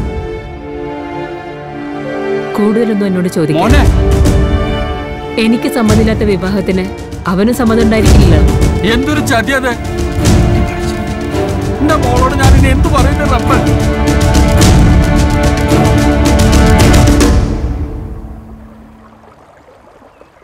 എന്താ അലക്സ് ഇങ്ങനെ? എന്റെ അലക്സിന് ഇത് എന്താ പറ്റിയേ? ഒന്നുമില്ല. എല്ലാം നമ്മൾ ആഗ്രഹിക്കുന്ന പോലെ നടക്കണമെന്നില്ലല്ലോ. എന്റെ ദൈവം. എനിക്ക് രണ്ടാം ജന്മം നൽകിയ ദൈവം. നിങ്ങളില്ലാതെ എനിക്ക് ജീവിക്കാൻ കഴിയില്ല. താൻ എന്നെ ഏറെ സ്നേഹിക്കുന്നുണ്ടെന്ന് എനിക്കറിയാം. പക്ഷേ താൻ എന്നോട് ക്ഷമിക്കടോ. ഒരുമിച്ച് ജീവിക്കാൻ പറ്റിയില്ലെങ്കിലും ഒരുമിച്ച് മരിക്കാമെന്ന് പറയാൻ പോലും എനിക്ക് ശക്തിയില്ല. ഒരുപക്ഷെ എല്ലാം ദൈവനിയോഗമാണ്. നമ്മൾ ഒരുമിക്കേണ്ടവരല്ല പിരിയേണ്ടവരാണ്. താൻ എന്നെ ഏറെ സ്നേഹിക്കുന്നുണ്ടെങ്കിൽ ഇനി ഒരിക്കലും നമ്മൾ കാണരുത്. അടുത്തിരുന്നിട്ടും നീ അറിയുന്നില്ലല്ലോ. പറയാൻ എനിക്ക് കഴിയുന്നുമില്ലല്ലോ. അടുത്തിരുന്നിട്ടും നീ അറിയുന്നില്ലല്ലോ. പറയാനെനിക്ക് കഴിയുന്നുമില്ലല്ലോ. അടുത്തറിയുമ്പോൾ അകലുമോ നീ? എന്റെ ഈ പ്രണയം ആദ്യ പ്രണയം അറിയാതകലുമോ നീ? ഏഴു നിറങ്ങൾ മഴവില്ല് തീർക്കും. എത്രയോ സ്വപ്നങ്ങൾ എൻ ജീവിതം തീർക്കുന്നു. അപ്പോൾ അങ്ങനെയാണ് താൻ ഇവിടെ എത്തിയത്. എനിക്ക് സഹിക്കാൻ പറ്റിയില്ല. ഞാൻ ഒരുപാട് ആലോചിച്ചു. ഒരിക്കൽ കൂടി അലക്സിനെ കണ്ടു. പക്ഷേ അപ്പോൾ ഉറപ്പിച്ചു അയാൾക്ക് തന്നോട് ആത്മാർത്ഥ സ്നേഹമില്ലെന്ന്. എന്താ ശരിയല്ലേ? അലക്സിന് ആത്മാർത്ഥമായ സ്നേഹം ഉണ്ടായിരുന്നെങ്കിൽ ഒരു പോസിറ്റീവ് റിപ്ലൈ തരില്ലായിരുന്നു. അവിടെയാ കുട്ടി തനിക്ക് തെറ്റുപറ്റിയത്. ഞാൻ മോളെ ഒരു കാഴ്ച കാണിക്കാം. അലക്സിന്റെ ഇപ്പോഴത്തെ അവസ്ഥ. എന്നിട്ട് തീരുമാനിക്കും. കാരണം മോളുടെ സമയം തീർന്നുകൊണ്ടിരിക്കുകയാണ്. എന്ത് കാഴ്ച? ദാ നോക്കിക്കോളൂ. ഈ പള്ളിയിൽ പിച്ച വെച്ച് നടന്ന കാലം മുതൽ അവിടുത്തെ കാൽച്ചുവട്ടിലാണ് ഞാൻ. എന്നിട്ടും എന്റെ നസ്രി എനിക്ക് തന്നില്ലല്ലോ. ഞാൻ എന്ത് തെറ്റ് ചെയ്തു? പാവം പിടിച്ച ആ കുട്ടി എന്ത് തെറ്റ് ചെയ്തു? ദേ ഞാനൊരു കാര്യം പറഞ്ഞേക്കാം. നസ്രിയ അവൾ എന്റെ പെണ്ണാണ്. അങ്ങേക്കറിയാലോ വഴിയിൽ കിടന്ന് എന്നെ എടുത്ത് വളർത്തിയ ആ അമ്മയുടെ വാക്കുകൾ മറന്ന് അവളെ സ്വന്തമാക്കാൻ കഴിയാത്തതുകൊണ്ടാ അവളെ എനിക്ക് വേണ്ടെന്ന് പറയേണ്ടി വന്നത്. അല്ലാതെ അവളെ ഇഷ്ടമല്ലാത്തതുകൊണ്ടല്ല. അവൾ എനിക്ക് എന്റെ ജീവനാണ്. അവൾ ജീവിച്ചിരിക്കുന്ന ഈ ലോകത്ത് അത് മറ്റൊരാളുടെ ഭാര്യയായിട്ടാണെങ്കിൽ പോലും ഞാനും ജീവിച്ചിരിക്കുകയുള്ളൂ. സത്യം ഇല്ലെങ്കിൽ ഞാനും പോവും അവളുടെ ലോകത്തേക്ക്. അതും ഈ തിരുനടയിൽ പട്ടിണി കിടന്ന് ഒരിറ്റ് വെള്ളം പോലും കുടിക്കാതെ എന്റെ യുവതാശ്ലീകയെ എനിക്ക് വേണ്ടി അപേക്ഷിക്കണമേ. അവളുടെ ജീവൻ കാക്കണമേ. ഇല്ലെങ്കിൽ ഇനി ഒരിക്കലും ഈ ആദരങ്ങൾ നിനക്കായി തുറക്കുകയില്ല. സത്യം. കണ്ടോ? താൻ സ്നേഹിക്കുന്നതിനപ്പുറം സ്നേഹം ഒളിപ്പിച്ചു വെച്ചിരിക്കുന്ന അലക്സിനെ ആ പാവത്തിനെ തനിച്ചാക്കിയിട്ടല്ലേ താൻ പോന്നത് ദാ ഇപ്പോൾ അയാളും ഇങ്ങോട്ട് വരാൻ പോകുന്നു. കുട്ടി ചിരിക്കുന്നു ഇടോ ഒരിക്കലും തിരിച്ചു വരാൻ പറ്റാത്ത മണിക്കൂറുകളിലേക്കാണ് നമ്മൾ കടക്കാൻ പോകുന്നത്. ഇനി തനിക്ക് കുറച്ച് നിമിഷങ്ങൾ മാത്രം ബാക്കി. അലക്സ് ഇങ്ങോട്ടേക്ക് വന്നാ ഞങ്ങൾക്ക് ഒരുമിച്ച് ഇവിടെ ജീവിക്കാൻ പറ്റുമോ അത് ഇരുട്ടും അരണ്ട് വെളിച്ചവും മാറി മാറി വരുന്ന പാതാളത്തിലായാലും കുഴപ്പമില്ല. ഭൂമിയിൽ ഞങ്ങൾക്ക് ഒന്നിക്കാൻ പറ്റിയില്ലെങ്കിലോ? കുട്ടി കുട്ടിയുടെ സമയം പൂർത്തിയായി കഴിഞ്ഞാൽ താൻ എവിടെയായിരിക്കുമെന്ന് ആർക്കും പറയാൻ കഴിയുകയില്ല. അമ്പത്തഞ്ച് വർഷങ്ങൾ കഴിഞ്ഞ് ദൈവസന്നിധിയിൽ പ്രവേശിക്കും വരെ പിന്നെ എങ്ങനെ ഒരുമിച്ച് കഴിയും?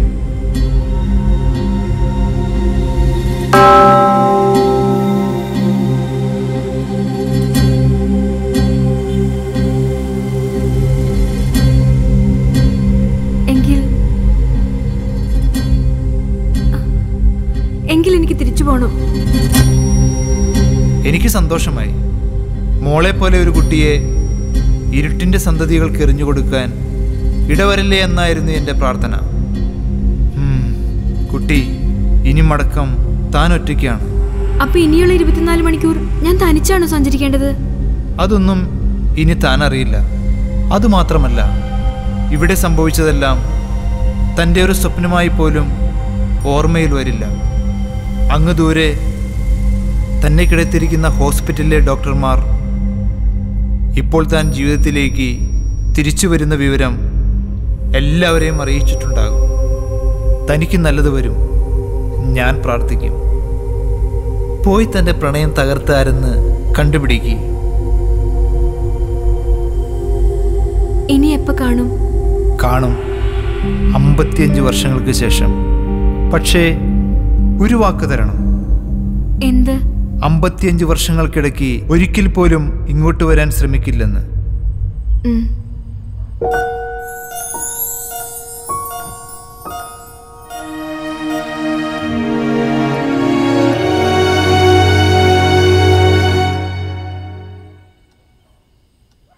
ആ കുട്ടി ഇവിടെ വന്നിരുന്നു നസറിയ. പാവം കുട്ടി. അലക്സിനെ മറക്കാൻ അവൾക്ക് കഴിയില്ല. സാവധാനം മറന്നുകൊള്ളാമെന്ന് അവൾ പറഞ്ഞു. പക്ഷെ വിവാഹം വരെ എത്തിയ ആ കുട്ടിയുടെ പ്രണയം തകർത്തതാരാണെന്നറിയണം. ഞാൻ അതേപ്പറ്റി ഒരുപാട് ആലോചിച്ചു. പലരോട് അന്വേഷിക്കുകയും ചെയ്തു. പക്ഷെ ആര്? ആ കുട്ടി ഒരു സംശയം പറഞ്ഞു. കുമാരനെ കുറിച്ച് മത്തായുടെ ഹോട്ടൽ വെച്ച് എന്തോ പറഞ്ഞെന്നോ മറ്റോ? അയ്യോ അച്ഛൻ ഞാൻ അങ്ങനെ പറയൂ. പിന്നെ അലക്സ് മതം മാറി കല്യാണം കഴിക്കേണ്ടി വരുമെന്ന് പറഞ്ഞപ്പോ ഒരു വിഷമം. അങ്ങനെ പറഞ്ഞു പോയതാ. അപ്പൊ കുമാറല്ല. ഇനി ദേവസിയാണോ?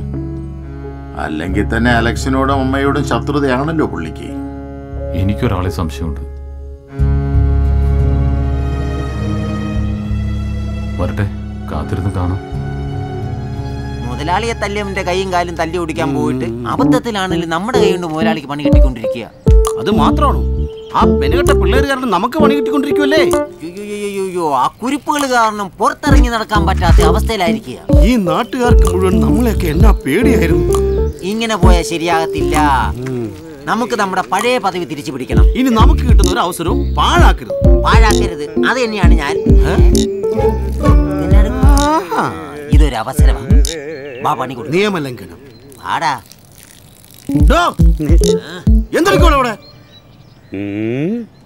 എടോ തന്നോടാ ചോദിച്ചാ എന്നെ എടുക്കുവാന്ന്. മൂത്രം ഒഴിക്കുന്നത് കണ്ടില്ലേ? മൂത്രം ഒഴിക്കാന്ന് മനസ്സിലായി. ഈ ഭിത്തിക്കകത്ത് ഇന്ത്യയുടെ മാപ്പ് പോലെ മൂത്രം ഒഴിക്കുന്ന എന്തിനാണോ ചോദിച്ചത് ഇന്ത്യയുടെ മാപ്പൊന്നും അല്ല. പിന്നെ? സാധാരണ രീതിയിൽ മുള്ളിക്കഴിഞ്ഞാൽ അതിനെന്താ ഒരു ത്രില്ല് ഇങ്ങനെ മുള്ളിയാൽ അതിനൊരു thrill. ഇവിടെ മൂത്രം ഒഴിക്കരുത് പരിസരം വൃത്തിയായി സൂക്ഷിക്കണം എന്ന് പറഞ്ഞ് എഴുതി വെച്ചാണല്ലോ കണ്ടില്ലേടോ. അതെ എനിക്ക് ഇവിടെ മൂത്രം ഒഴിക്കാം അതിനെ ഇവിടെ തന്നെ മൂത്രം ഒഴിക്കണം നിർബന്ധം. എന്റെ പേര് ഉണ്ണിന്ന. ഉണ്ണിമൂത്രം പുണ്യാഹന്ന് അറിയില്ലേ ഇവിടുന്ന് കൂളിംഗ് ഗ്ലാസും വന്നോ? പോടാ പോയി കളിക്കടാ. അത് ശരി. ഉണ്ണിക്കൊരു സ്വല്പ അഹങ്കാരം കൂടുതലല്ലേ? നമ്മുടെ മാസ്റ്റർ പണി തന്നെ കൊടുത്താലോ? അത് തന്നെ. വാടാ നീ.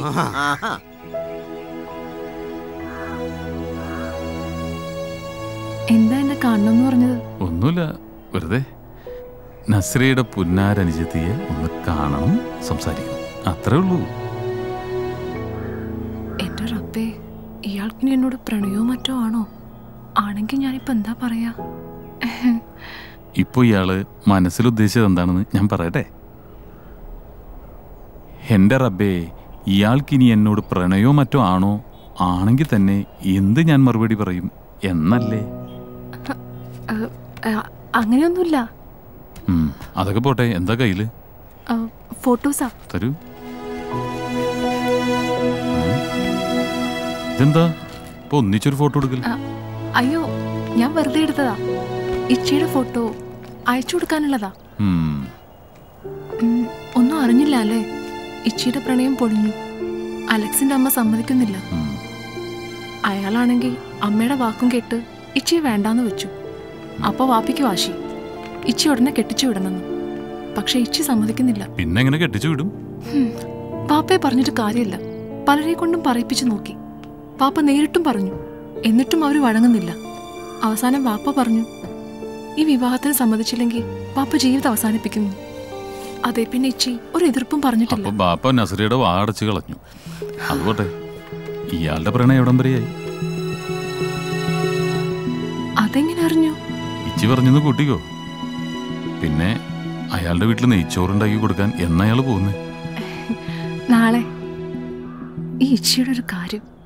ആ പിന്നെ ബാപ്പ പറഞ്ഞ ചെറുക്കൻ നിങ്ങളെ ഇതുവരെ കണ്ടിട്ടില്ലേ? ഇല്ല. അടുത്ത അഞ്ചാം തീയതി നാട്ടിൽ വരുന്നുണ്ട് ചെക്കൻ. അതിനു മുമ്പ് ഫോട്ടോ കാണാനായിട്ട് അയച്ചു കൊടുക്കാൻ പറഞ്ഞു. പിന്നെ വരുന്നത് കെട്ടാനായിട്ടാ. പിന്നെ നാളെ കഴിഞ്ഞാൽ ഫോട്ടോ അയച്ചാ പോരെ?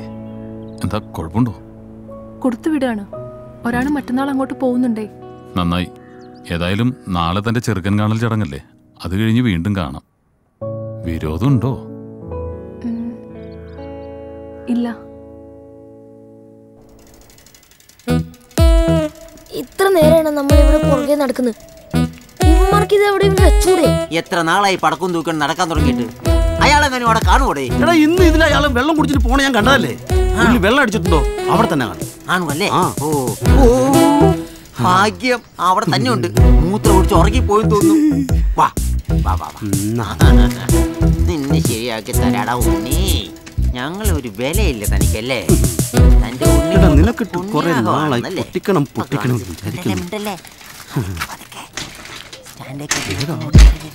കുറെ കാലമായി മിണ്ടുന്നില്ല കത്തിക്ക് കാണിച്ചു തരാടാ അവനെ പൊട്ടിച്ച് കത്തിച്ച്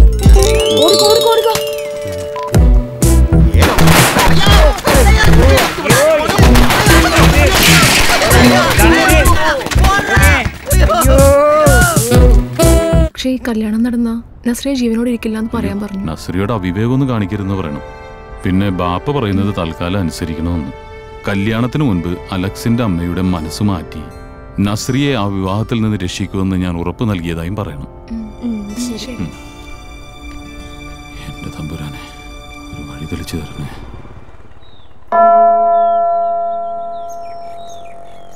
അല്ല ജോസഫേ ഇനി കുറച്ച് ദിവസം കൂടി ഉള്ള ആ കുട്ടിയുടെ കല്യാണത്തിന്. വല്ല പദ്ധതി മനസ്സിലുണ്ടോ? ഒരു വഴി തെളിഞ്ഞു വരുന്നുണ്ട്. എന്തു വഴി? എന്തായാലും പെട്ടെന്ന് വേണം. പക്ഷെ അത് നസ്രിയയുടെ ജീവൻ പണയം വെച്ചുള്ള കളിയാകരുത്. ഏയ് നസ്രിയുടെ ജീവൻ ഒരു അപകടവും സംഭവിക്കില്ല. ഇവിടെ നമ്മളെ നസ്രിയെ സഹായിക്കാൻ ഒരാൾക്കേ പറ്റും. ആർക്ക്? ലൈല. നസ്രിയുടെ അനുജത്തി. ഈ ലൈലയുമായി പ്രണയത്തിലായ ഒരു കക്ഷിയെ എനിക്കറിയാം. വളരെ അപ്രതീക്ഷിതമായാണ് ഞാൻ ഈ കക്ഷിയെ കണ്ടുമുട്ടിയത്. ഏ? എന്നിട്ട്? എവിടെ? നമ്മുടെ? അത് ശരി. എന്റെ പൊന്നളിയ ലൈല നസ്രിയ. രണ്ടിനും ഞാൻ ഒരു കലക്ക് കലക്കും. എടാ സൂയിസൈഡ് അറ്റംപ്റ്റിന്നേ രക്ഷപ്പെട്ടതാ. അയാളുടെ സംസാരത്തിൽ എന്തോ പന്തികേട് തോന്നിയതുകൊണ്ട് ഞാൻ ലൈലയെ കാണാൻ തീരുമാനിച്ചു. അയാളെ വെച്ച് എന്ത് ചെയ്യാനാ? നമ്മൾ ഉദ്ദേശിക്കുന്ന തരത്തിൽ വരും. നമ്മൾ ഉദ്ദേശിക്കുന്ന രീതിയിൽ തന്നെ വരും. ഒരു കണക്കിന് ഇങ്ങനെയുള്ള കാര്യങ്ങളിൽ നമ്മൾ ഇടപെടാൻ പാടില്ല. പക്ഷെ അറിഞ്ഞുകൊണ്ട് ഒരാളെ മരണത്തിലേക്ക് വിടരുതല്ലോ. അതുകൊണ്ടാ. കല്യാണം നടന്നാൽ നസ്രിയ മരിക്കും. നടന്നില്ലെങ്കിൽ ബാപ്പ മരിക്കും. രണ്ടുപേരും മരിക്കാതിരിക്കണം.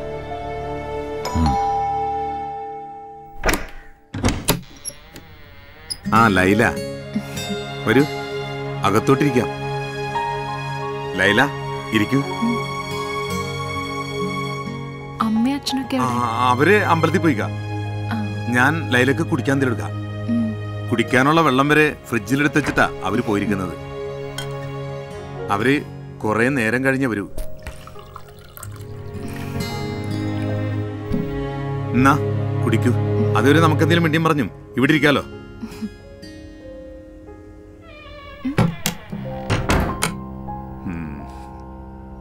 എന്താ മോനെ ഒരു പന്തികേട്?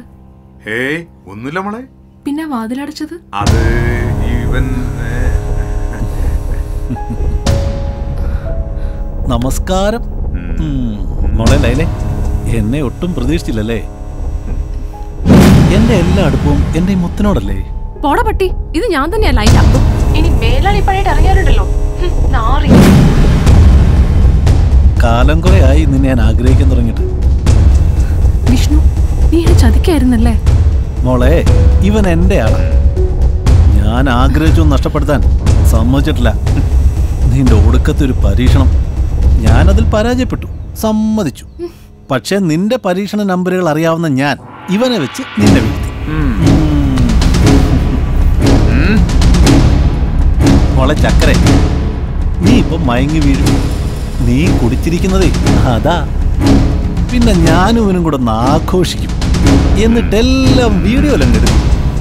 പിന്നെ അറിയാലോ? ആ. അതെങ്ങനെ ശരിയാവും കുട്ടന്മാര്? നന്ദി. എന്നെ രക്ഷിച്ചതിന്. മതിയായി ഈ പ്രണയം. ഒന്നിനും വിശ്വസിക്കാൻ പറ്റില്ല. അവർക്ക് ശരിക്കും കൊടുത്തോ? പിന്നെ നന്നായിട്ട് കൊടുത്തു. ഈ പുറത്ത് പാട് വരുത്താതെ ശരീരം നന്നായിട്ട് ചതയ്ക്കാൻ പറ്റുന്ന ആളാണ് ഞാനെന്നാണ് എല്ലാവരും പറയുന്നത്. ഈ സംഭവിക്കുന്നത് എല്ലാം നല്ലതിന്. സംഭവിക്കാനിരിക്കുന്നത് നല്ലതിന്. എന്ന് കേട്ടിട്ടില്ലേ? എന്നാലും അവൻ എടോ തന്റെ പ്രണയം തീർന്നു. പക്ഷെ താൻ ഇനി നസ്രിയയ്ക്ക് വേണ്ടി ചില കാര്യങ്ങൾ ചെയ്യണം. തനിക്ക് മാത്രമേ കഴിയൂ. താൻ തന്റെ ഇച്ഛയെ ഒരുപാട് സ്നേഹിക്കുന്നില്ലേ? ഇനി ഞാൻ പറയുന്നത് ശ്രദ്ധിച്ചു കേൾക്കണം. തന്റെ ഇച്ഛയുടെ ജീവിതത്തിൽ ഒരാൾക്ക് മാത്രമേ ജീവിത പങ്കാളിയായി സ്ഥാനമുള്ളൂ. അലക്സ്. അലക്സിന്റെ സ്ഥാനത്ത് മറ്റൊരാൾ വന്നാൽ പിന്നെ അവൾ ജീവനോടെ ഇരിക്കില്ല. ആ മനസ്സ് എനിക്കറിയാവുന്നതുകൊണ്ടാണ് ഞാൻ പറയുന്നത്. താൻ വിഷമിക്കണ്ട. പക്ഷെ നമ്മളായിട്ട് അങ്ങനെ ഒരു സാഹചര്യം ഉണ്ടാവാൻ അനുവദിക്കരുത്. എന്റെ ഇച്ഛയ്ക്ക് വേണ്ടി ഞാൻ എന്തും ചെയ്യും. ജോസഫ് ഏട്ടൻ പറഞ്ഞോളൂ. ഇവിടെ പ്രധാന പ്രശ്നക്കാരൻ തന്റെ ബാപ്പയാണ്. പക്ഷെ നമ്മൾ ചെയ്യുന്നത് ബാപ്പ ഒരിക്കലും അറിയരുത്. ഈ കല്യാണം നടക്കുമെന്ന പ്രതീക്ഷയിൽ അദ്ദേഹം മുന്നോട്ട് പോകണം ഇതിനിപ്പോ എനിക്ക് എനിക്കെന്ത് ചെയ്യാൻ കഴിയും? ആ തനിക്കേ കഴിയൂ. കല്യാണി. കല്യാണി കല്യാണി. അവിടെ അവിടെ ഓ. ഞാൻ മാറിക്കിട. ഓ. ഞാൻ എവിടെയെല്ലാം തിരക്കിയെന്നറിയാവോ? കുറെ നാളായില്ലേ മുതലാളി. മുതിരും പലിശയും തന്നിട്ട്. പിന്നെന്താ? ഓ തരാൻ കല്യാണി. ഞാൻ പറഞ്ഞില്ലേ ഒരു സ്വകാര്യം തമ്മി തമ്മി പറയാന്ന്. അത് കഴിഞ്ഞ അപ്പത്തന്നെ ആധാരം. അപ്പൊ അങ്ങനെയാണ്. മുതലാളി ആധാരം തിരിച്ചു വരൂ ഇന്ന് രാത്രിയിൽ ഞാൻ വരും. തുറന്നിടും ഇഷ്ടം. പിന്നെ വരുമ്പോഴേ തല തുണിയിട്ട് വരണേ. തുണിയേ കൊടുക്കുന്നില്ല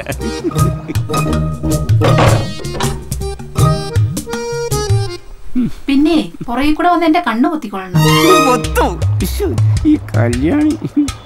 അല്ല മുതലാളി ഇനി ശിങ്കടികൾ കാളു മാറിപ്പോവോ? അതൊന്നും ഇല്ലെന്നേ. അവർക്ക് ഞാനൊരു കോട് പഠിപ്പിച്ചു കൊടുത്തിട്ടുണ്ട്. കോടോ? എന്ത് കോടോ? അതൊന്നും ഞാൻ ആരോടും പറയില്ല.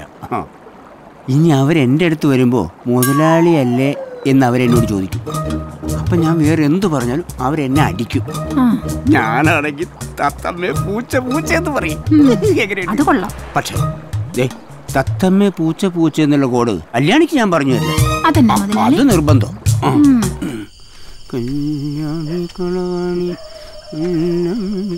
കണ്ടടാ.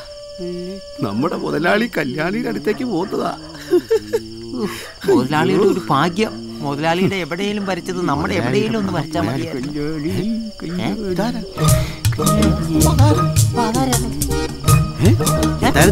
കൂടുണ്ടല്ലോ. മുതലാളി ചോദിച്ചു നോക്കാം. മുതലാളിയെ അത് നിന്ന മുതലാളി. ഞങ്ങളുടെ മുതലാളി തന്നെയാണോ? തത്തമ്മേ പൂച്ച പൂച്ച.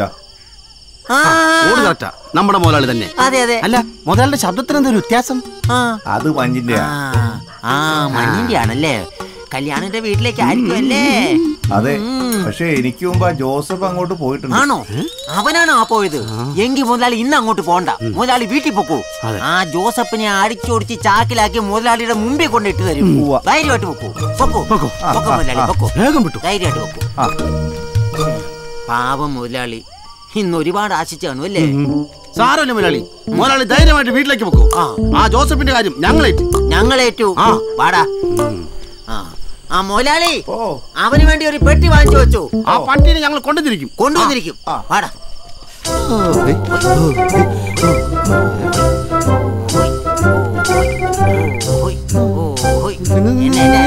ഒരു കോൾ ഹലോ? അതൊക്കെ നീയാടാ? ജോസഫോ? അപ്പൊ ഇതാരാ? ആരാടാ? ജോസഫ് വിളിച്ചു ചോദിക്കുന്നു നിങ്ങളുടെ മുതലാളിയെ ചാക്കി കെട്ടി വീട്ടിലാക്കി വന്നു. അപ്പൊ പിന്നെ ഇതാരാ? ഇതാരാ? ആ? വാ നമുക്ക് അടിച്ചു നോക്കാം. എന്ത് കഷ്ടമാന്ന് നോക്കിക്കോണേ. പെട്ടെന്ന് അടിക്ക്. എന്ന് പറഞ്ഞാൽ കയർ അഴിച്ചെടുക്കണം. അത് കെട്ടുമ്പോ ഓർക്കണമായിരുന്നു എന്ന് പറഞ്ഞാൽ ഞാൻ ഏതാണ്ട് കിട്ടിയ പോലെയാണല്ലോ. അയ്യോ ദേ പിന്നെ മുതലാളി. ഈ മുതലാളിക്ക് ഇത് തന്നെയാണോ പരിപാടി. അതെ. എടാ ഇതിൽ അങ്ങ് കൊല്ലാൻ മേലായിരുന്നു. മുതലാളി. ബാപ്പ തീരുമാനിച്ച എന്റെ വിവാഹത്തിന് ഇനി നാല് ദിവസം. ജീവിക്കാൻ കൊതിയുണ്ടായിട്ടല്ല. പക്ഷേ ജീവിച്ചിരിക്കുന്നവർക്ക് ഒരുപാട് നാണക്കേടുണ്ടാക്കുന്ന ഒരു ആത്മഹത്യ. അതൊന്നും ഒഴിവാക്കാൻ പറ്റിയിരുന്നെങ്കിൽ ഇതെന്റെ അവസാന രാത്രിയാണ്. രാത്രിയാണ് എനിക്കറിയാം. നിനക്ക് അവളെ മറക്കാൻ കഴിയില്ല എന്ന് പക്ഷെ മറക്കണം.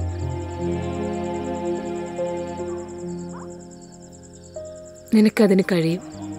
ഇനി അതിൽ എന്തിരിക്കുന്നു അമ്മേ? നാല് ദിവസം. അവളുടെ വിവാഹമല്ലേ?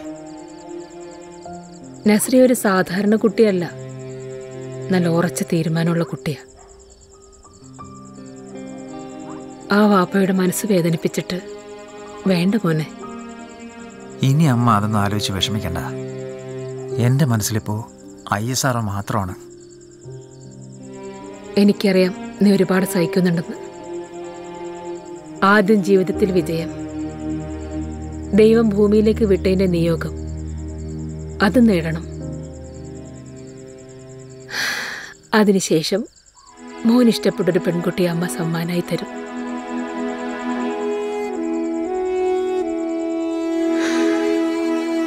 പിന്നെ നിന്നെ ഒരാളെ ഏൽപ്പിച്ചു കഴിഞ്ഞാൽ അമ്മ പോകും. പോകേ? എവിടെ പോവാൻ? എന്റെ അമ്മ എങ്ങും പോകുന്നില്ല. എവിടെ പോണമെങ്കിലും ഞാൻ കൊണ്ടുപോകും. അതുപോലെ അതൊക്കെ പിന്നീടുള്ള കാര്യമല്ലേ? ആ നാളെ നസ്രിയുടെ വീട് വരെ ഒന്ന് പോണം.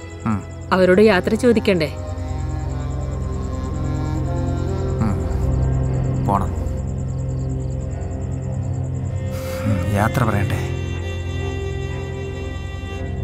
എന്റെ റബ്ബേ? എന്താ ഈ കേക്കണത്? ഇത് എങ്ങനെ ഇങ്ങനെ പറ്റിയത്? നസ്രിയാന്റെ ഫോട്ടോ കൊടുത്തത് എങ്ങനെ മാറിയത്? ഫേസ്ബുക്കിലെങ്ങാണ്ട് എന്റെ മോളിപ്പോ കണ്ടത് നന്നായി. അവന്റെ ലൈലാടെ കല്യാണത്തിനുള്ള ഫോട്ടോ പോസ്റ്റ് ചെയ്തിരിക്കണേ ആ നൗഫൽ. വിളിയും കഴിഞ്ഞ അവിടെ ഓഡിറ്റോറിയത്തിൽ പണിയും തുടങ്ങി. ഇനി ഞാനിപ്പോ എങ്ങനെ അവളോട് പറയാ? നസ്രിയ മോളുടെ അല്ല ലൈലാന്റെ ആണ് നിക്കാഹെന്ന്. നമുക്കൊന്ന് അവരുമായി സംസാരിച്ചാലോ? ഞാൻ സംസാരിക്കാതിരിക്കോ? അവർ പറയണ് ചെക്കന് ലൈലാന മതിയെന്ന്. ഇനി മാറ്റാൻ പറ്റില്ലെന്ന്. ഇല്ലെങ്കിൽ പിന്നെ കല്യാണം ഒഴിയാണെന്ന് കല്യാണം ഒഴിയേ. അപ്പൊ രണ്ടു കുട്ടികളും ഭാവി പോവില്ലേ ഇനിയിപ്പോ എന്താ ചെയ്യ? അളിയ ഇലാനോ ഒന്ന് ഇങ്ങോട്ട് വിളിച്ചേ. ഇനി അവൾക്ക് എന്തെങ്കിലും പ്രശ്നം ഉണ്ടോ എന്ന് ആദ്യം ചോദിക്ക്. അവൾക്ക് സമ്മതമാണെങ്കിൽ ഈ കല്യാണം തന്നെ നടക്കട്ടെ. എന്റെ നസിനെ മോളെ നിർത്തിയിട്ട് അനിയത്തിന്റെ കല്യാണം നടത്താനാ? അയ്യോ അത് പറ്റൂല. അങ്ങനെ ഇങ്ങനെ ഒന്നും പറഞ്ഞു തന്നിട്ട് കാര്യമില്ല. അളിയല്ലേ ലൈലാനെ വിളിച്ചേ. എന്നിട്ട് ബാക്കി തീരുമാനിക്കാം. മോളെ ലൈല. ഒന്നിങ്ങോട്ട് വന്ന്. എന്താ പാപ്പ? മോളെ നസ്രിയ എന്തിയെ? ഇച്ചി കിടക്ക. മോളെ ലൈലേ ഇവിടെ ഉണ്ടായിരിക്കുന്ന പ്രശ്നങ്ങൾ വല്ലതും മോൾ അറിഞ്ഞ? അറിഞ്ഞു. നൗഫൽ വിളിച്ചിട്ടുണ്ടായിരുന്നു. അപ്പൊ കാര്യങ്ങളൊക്കെ മോൾക്കറിയാം. നാളെ കൊടുത്തുവിടുന്ന ഫോട്ടോയിൽ ഒരു ചെറിയ മാറ്റം. തന്റെ ഫോട്ടോ പക്ഷേ അതിലെഴുതുന്ന പേര് നസ്രിയ. പിന്നെ തന്റെ മൊബൈൽ നമ്പറും കൊടുക്കണം. ബാക്കി ഞാൻ പറയാതെ മനസ്സിലാവും മോൾക്ക് നൗഫലിനെ വിവാഹം കഴിക്കാൻ സമ്മതമാണോ? എന്റെ ഇച്ചിയുടെ മനസ്സ് വേദനിപ്പിച്ചിട്ട് എനിക്കൊരു വിവാഹം വേണ്ട. ഇച്ചിക്കൊരു വിഷമമില്ല സന്തോഷമേ ഉള്ളൂ. ഇതിപ്പോ ഇങ്ങനെയായത് നന്നായി. ഇല്ലെങ്കിൽ വിവാഹപന്തലിൽ എല്ലാവർക്കും നാണക്കേടായനെ. മോളെ നസ്രിയ ഈ എന്താ ഇങ്ങനെ? പിന്നെ ഞാൻ എങ്ങനെ വേണം പാപ്പ? എന്റെ ഇഷ്ടം നടത്തിത്തരാൻ നിങ്ങൾക്ക് ആർക്കും കഴിയില്ല. എനിക്ക് സമ്മതക്കുറവൊന്നുമില്ല. അവരല്ലേ തയ്യാറാവാത്തത്? വേണ്ട പാപ്പ എനിക്കറിയാം എന്തൊക്കെയോ ഇതിനിടയിൽ സംഭവിച്ചിട്ടുണ്ടെന്ന്. പക്ഷെ എന്തായാലും എനിക്ക് വിഷമമൊന്നുമില്ല. എന്താ ഇപ്പൊ ചെയ്യാ? ഇങ്ങനെ അതും ഇതൊന്നും പറഞ്ഞു തന്നിട്ടൊന്നും ഒരു കാര്യമില്ല. ഒരു കാര്യം ചെയ്യാം. ആ പയ്യനുണ്ടല്ലോ അലക്സ്. അയാൾക്ക് നമ്മുടെ കൂട്ടത്തിൽ കൂടാൻ തയ്യാറുണ്ടോ എന്ന് ചോദിക്കി. അതൊന്നും നടക്കൂല. ആ പയ്യന്റെ അമ്മയല്ലേ? അവർക്ക് ഈ ബന്ധം ഇഷ്ടമല്ല. അത് ഞാൻ പറഞ്ഞ് സമ്മതിപ്പിച്ചോളാം. ആ പയ്യൻ കാരണമാണല്ലോ ഇവൾക്ക് ഈ ഗതി വന്നത്. നിങ്ങളുടെ ഉമ്മച്ചി എന്തിയെ? ഓൾ തലകറക്കായിട്ട് അകത്ത് കിടക്കുക അവിടെ കിടന്നോട്ടെ അളിയനൊരു കാര്യം ചെയ്തേ. ആ പയ്യന്റെ അമ്മയെ കൂടി വിളിച്ചേ. എന്നിട്ട് കാര്യങ്ങൾ സംസാരിക്കും. അതല്ല ഒരു കാര്യണ്ട്. അളിയനൊന്നും ഇങ്ങോട്ട് വന്നേ.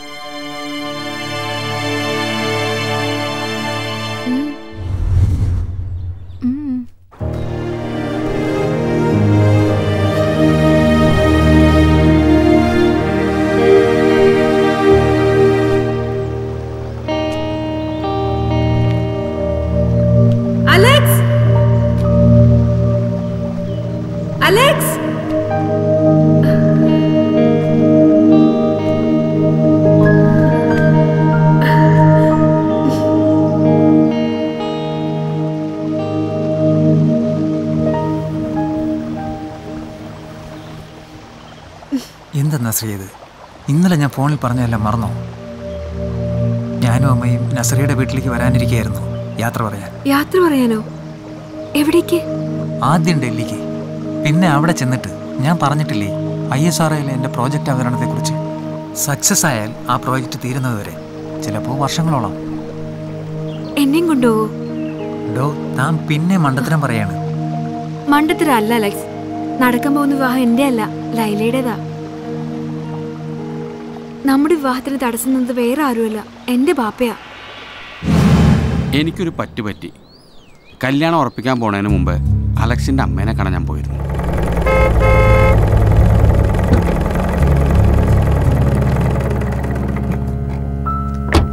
ആ കയറി വരൂ. പ്രതീക്ഷിച്ചില്ല. ഞാൻ ശരിക്കും നസ്രിയുടെ വാപ്പയെ കണ്ട് സംസാരിക്കാനിരിക്കായിരുന്നു. അതെ തീരെ പ്രതീക്ഷിക്കാത്ത കാര്യങ്ങളാണല്ലോ സംഭവിക്കുന്നത്. അപ്പൊ പിന്നെ വന്ന് കാണണല്ലോ. ജോസഫ് വന്ന എല്ലാ കാര്യങ്ങളും പറഞ്ഞിരുന്നല്ലോ അല്ലേ? എന്നിട്ടും കുട്ടികളുടെ കാര്യങ്ങൾ നടത്താനെടുത്ത തീരുമാനം. നന്നായി. നന്നായി എന്ത് നന്നായിന്ന്? ജോസഫ് പറഞ്ഞു നിങ്ങളുടെ മഹിമ. പണ്ട് നിങ്ങൾ ആരായിരുന്നു എന്നും എന്തായിരുന്നു എന്നും എല്ലാം. കാര്യം നിങ്ങളുടെ മോൻ എന്റെ മോളെ രക്ഷിച്ചു എന്നുള്ള നേരാ. അയച്ചിട്ട് ഉമ്മ ആരാ ബാപ്പ ആരാന്ന് അറിയാത്തൊരു തന്റെ കൂടെ എന്റെ മോളെ പറഞ്ഞു വിടന്ന ഒന്നുമില്ല ഇങ്ങനത്തെ ഒരു കാര്യം ഒരാളെ എന്റെ അടുത്തേക്ക് അയക്കാൻ. നിങ്ങൾക്ക് എന്തു യോഗ്യതയുള്ളത് ഇവിടെ വെച്ച് നിർത്തണത്. ഒരു മുസ്ലിം പെൺകുട്ടി അന്യമതത്തിൽപ്പെട്ട ഒരാളുടെ കൂടെ പറഞ്ഞേക്കാൻ പറ്റില്ല എന്നൊരു സാമാന്യ ബോധമെങ്കിലും നിങ്ങൾക്ക് ഉണ്ടാ? പിന്നെ എനിക്ക് നിങ്ങൾ തരാനുള്ള കാശ്. അതിന്റെ മോളെ രക്ഷിച്ചതിന്റെ ഒരു സമ്മാനമായി കരുതിക്കൊള്ളി ഇനി അതല്ല. ഞാൻ ഇവിടെ വന്നു ഇതൊക്കെ പറഞ്ഞു എന്നുള്ളതിന്റെ പേരിൽ എന്റെ പിന്നാലെ ഇനിയും വന്ന. നിങ്ങളുടെ വളർത്തുമോന്റെ കാര്യം പോക്കാട്ടാ. നിങ്ങൾ പറഞ്ഞോ കേൾക്കും ഓനൊഴിഞ്ഞാൽ നമ്മുടെ മോൾ രക്ഷപ്പെടും. നസ്രിയുടെ വാപ്പ സമാധാനമായിട്ട് പൊയ്ക്കോ. എന്റെ മോനിനി നിങ്ങളുടെ മോൾ ആഗ്രഹിക്കില്ല. ഞാൻ അവനെ പിന്തിരിപ്പിച്ചോളാം. പിന്നെ ഈ കാര്യം എന്റെ മനസ്സ് സുരക്ഷിതമായിരിക്കും. മറ്റാരും അറിയില്ല.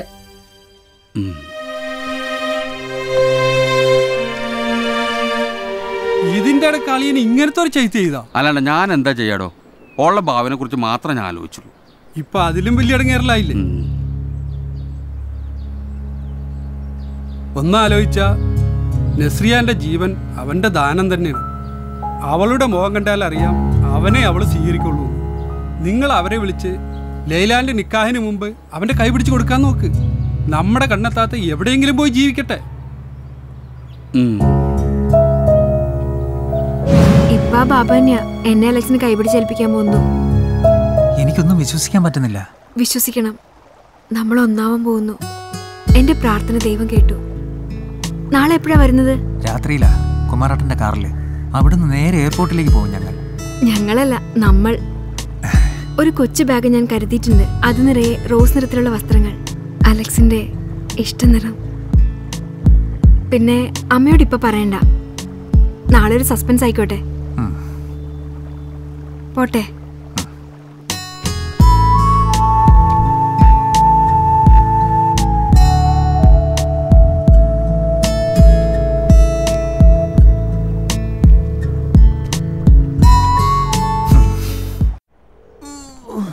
അപ്പൊ അച്ഛനൊന്ന് പോകുക അല്ലേ? ഓ എന്റെ എല്ലാ ഉയർച്ചയ്ക്ക് പിന്നിലും അച്ഛനുണ്ടായിരുന്നു. എന്താ ദേവസി ഇത്ര ദുഃഖത്തിൽ? ഓ ഒന്നും പറയണ്ട ചോ. എങ്ങനെയൊക്കെ നോക്കിയാലും നാലു വശത്തൊന്നും കൂടി കെട്ടിക്കൊണ്ടിരിക്കുക ഇന്നൊരു ഒഴിച്ചിൽ പോണം. അതുകൊണ്ട് ഇന്ന് അച്ഛന്റെ യാത്രയായപ്പോൾ യോഗത്തിൽ ഞാൻ വരില്ല. അയ്യോ അച്ഛൻ പോയ എന്റെ കുമ്പസാരം എങ്ങനെ നടക്കും. അപ്പൊ ദേവസി വൈകിട്ടുണ്ടാവില്ല. അയ്യോ ഇല്ലച്ചോ എനിക്ക് വേണ്ടി അച്ഛനൊന്ന് മുട്ടിപ്പോയെ പ്രാർത്ഥിക്കണം. ശരി. മതി. അത്രയും മതി. അയ്യോ. ഈ അച്ഛന്റെ കാര്യം.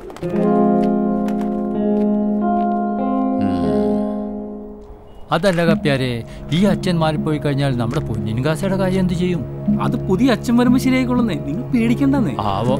ഏത് പിശാച്ചിന്റെ മോനെ അത് കൊണ്ടുപോയെന്ന് എനിക്ക് അറിഞ്ഞുകൂടാ കിട്ടിയാൽ അടിച്ചാൽ ഞാൻ ഊരും നോക്കിക്കോ. ഞാൻ ഈ പള്ളിയിൽ അച്ഛന്റെ കുസിനിയിലെ ജോലിക്കാരിയാണ്.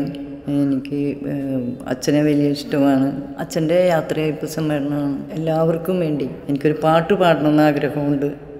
പാഴ്സി ബർമ ചൈന ജപ്പാൻ പാർലിമെന്റലിക്കാരനോ ആശ്രയ ആഫ്രിക്കവേ ഹൈറോപ്യ അമേരിക്കവേ. ആശ്രയ ആഫ്രിക്കവേ ഹൈറോപ്യ അമേരിക്കവേ.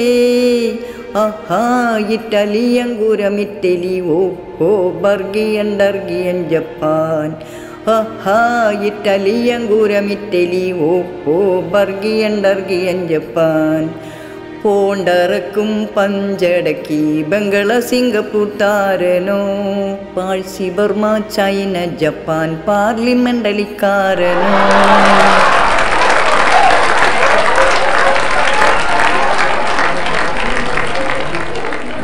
യൂതയാപുരം പള്ളി ഇടവകയിലെ എന്റെ പ്രിയപ്പെട്ട സഹോദരി സഹോദരന്മാരെ ഞാൻ ഈ ഇടവകയിൽ നിന്നും തൊട്ടടുത്ത പ്രദേശമായ എടവനക്കാട് സെന്റ് അംബ്രോസിസ് ഇടവകയിലേക്ക് സ്ഥലം മാറിപ്പോവുകയാണ്.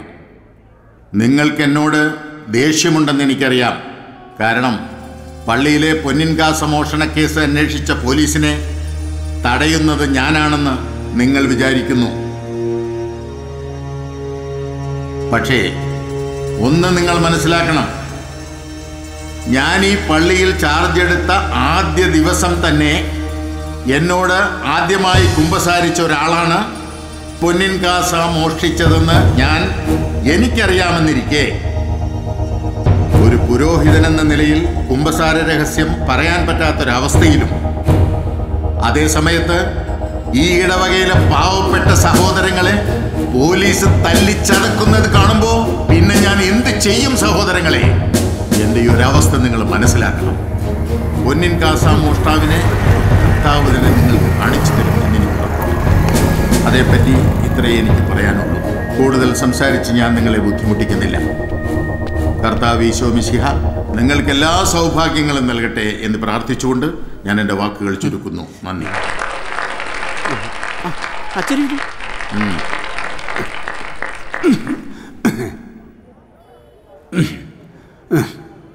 ഉഴിച്ചിന് പോയ ഞാനാ. പക്ഷെ എന്റെ അച്ഛന്റെ ഈ യാത്രാമംഗള ചടങ്ങിൽ ഞാൻ എത്തിയില്ല എങ്കിൽ അച്ഛനത് സഹിക്കാൻ കഴിയില്ലെന്ന് എനിക്കറിയാം. അതുകൊണ്ട് വന്നതാണ് പിന്നെ ഞാനും ഈ അച്ഛനും തമ്മിൽ വലിയൊരു ബന്ധമുണ്ട്. അതെന്താണെന്നല്ലേ പറയാം. ഈ അച്ഛൻ ആദ്യമായി ഈ ഇടവകയിൽ വന്നപ്പോൾ ആദ്യമായി കുംഭസരിച്ചത് ഈ ഞാനാ. അന്നു മുതൽ എന്റെ ഭാഗ്യവും തുടങ്ങി. അതിന് നേട്ടവും എനിക്കുണ്ടായിട്ടുണ്ട്.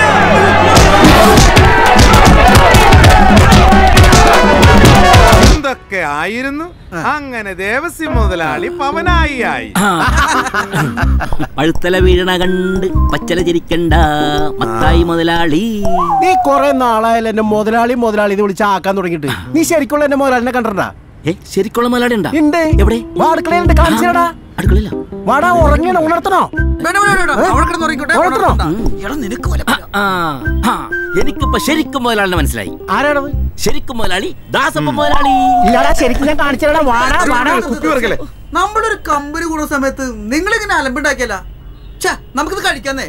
സ്വയം പാട്ട്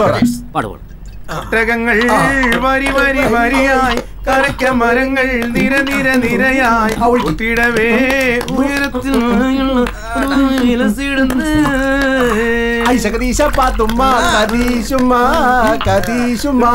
പുന്തല്ലേ തള്ളല്ലേ പന്തൽ പൊളിഞ്ഞാടും പന്തൽ പൊളിഞ്ഞാടും.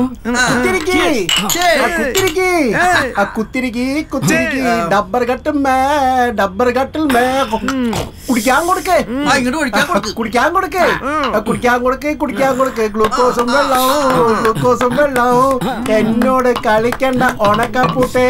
മൈസൂര് പഴംകുട്ടി അടിക്കും നിന്നെ. നിങ്ങൾ പൊട്ടാണെങ്കിൽ നമ്മളെ പൊട്ടും കുറ്റിയാണ് നിങ്ങൾ ഇല്ലാണെങ്കിൽ നമ്മളെ കുപ്പിച്ചില്ലാണ് ആ. ഐസകതീശ പാത്തുമ്മ ഒറ്റടിക്ക് കഴിക്കൽ കൂമ്പടി അമ്മേ ഒഴിക്കടാ. ചങ്കത്തിപ്പേടാ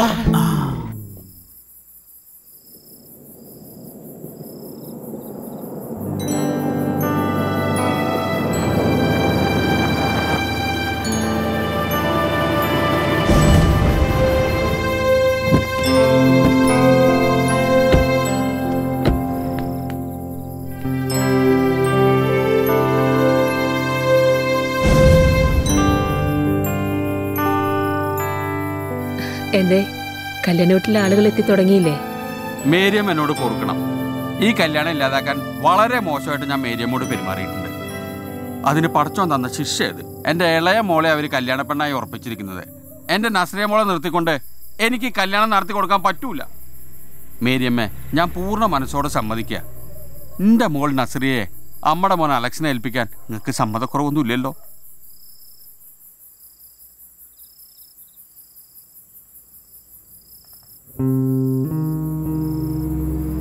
മേരിയമ്മ മറുപടി ഒന്നും പറഞ്ഞില്ല. എന്താ മേരി? നീ ഒന്നും പറയാതെ. ഇങ്ങനെ മിണ്ടാതിരുന്ന കാര്യങ്ങൾ നടക്കും. പഴയ കാര്യങ്ങളൊന്നും ഇപ്പൊ ഓർക്കരുത്. ഈ വിവാഹം ഇപ്പൊ നടക്കില്ല. ഈ സാഹചര്യത്തിൽ നിങ്ങളിങ്ങനെ സംസാരിക്കരുത്. ഒരിക്കലും ഈ വിവാഹം നടത്തി തരണമെന്ന് പറഞ്ഞ് ഞാൻ ഇദ്ദേഹത്തോട് യാചിച്ചിട്ടുണ്ട്. കാര്യങ്ങളൊക്കെ ഞാൻ മേരിയമ്മോട് പറഞ്ഞില്ലേ? അതിന് ക്ഷമയും ചോദിച്ചു. പിന്നെന്താ ഇപ്പൊ അലക്സ് മോനെ മോൻ എന്താ ഒന്നും പറയാത്ത? വാപ്പ അത് എനിക്ക് പറ അലക്സേ ഇപ്പോഴും എനിക്ക് ഓളെ ഇഷ്ടല്ലേ? അയ്യോ വാപ്പ ഇപ്പോഴൊന്നല്ല. എനിക്ക് എപ്പോഴും ഇഷ്ടമാണ് നസ്രിയന്റെ ജീവൻ തന്നെയാ. പക്ഷേ ഞാൻ അങ്ങനെ കാൽ പിടിക്കാം. വേണ്ട വാപ്പ. ആരെയും നിർബന്ധിച്ച് എന്റെ വിവാഹം നടത്തണ്ട.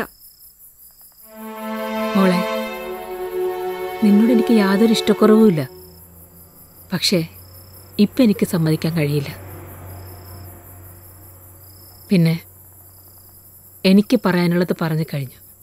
ഇനി എന്ത് തീരുമാനവും അലക്സിനെടുക്കാം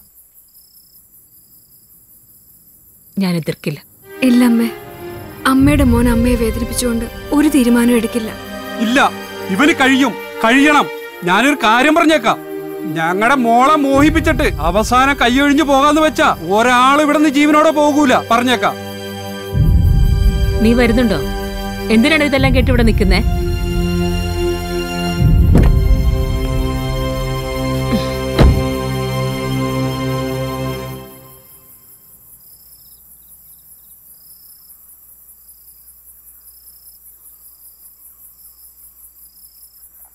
നസ്രിയ എന്നോട് ക്ഷമിക്കണം. എന്റെ അമ്മയെ വേദനിപ്പിച്ചിട്ട് നിന്നെ സ്വന്താക്കാൻ എനിക്ക് കഴിയില്ല. എല്ലാം മറക്കണം. റഷീദ്.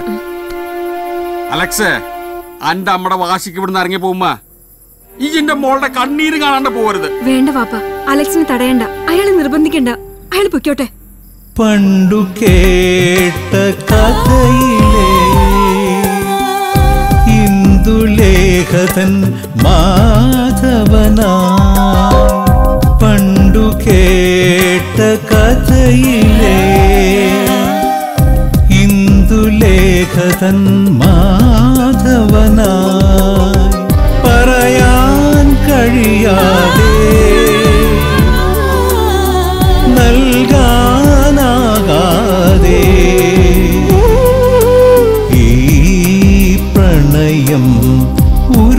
volumen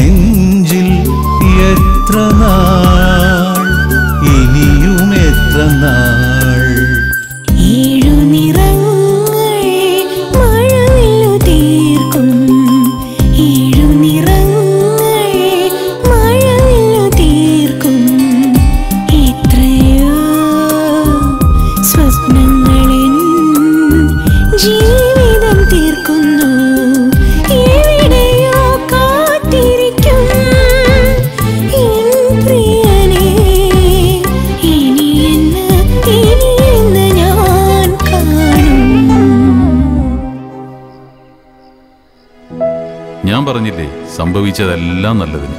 ഇനി സംഭവിക്കാനിരിക്കുന്നതും നല്ലതിന്. ഞാൻ ശരിക്കും ആരാണെന്ന് ചോദിച്ചില്ലേ? അലക്സിന്റെ പള്ളിയിലെ പുതിയ കൊച്ചച്ചനാണ് രഹസ്യമാക്കി വെച്ചത് ദേവസ്യെ പോലുള്ള ശുദ്രജീവികളെ ഒതുക്കാനാ. എല്ലാം നന്നായി തന്നെ അവസാനിക്കുള്ളൂ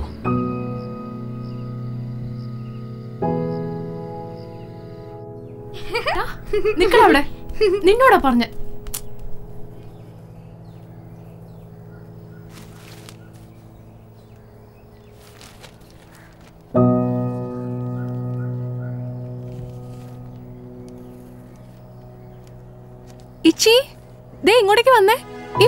വരുന്നുണ്ടോ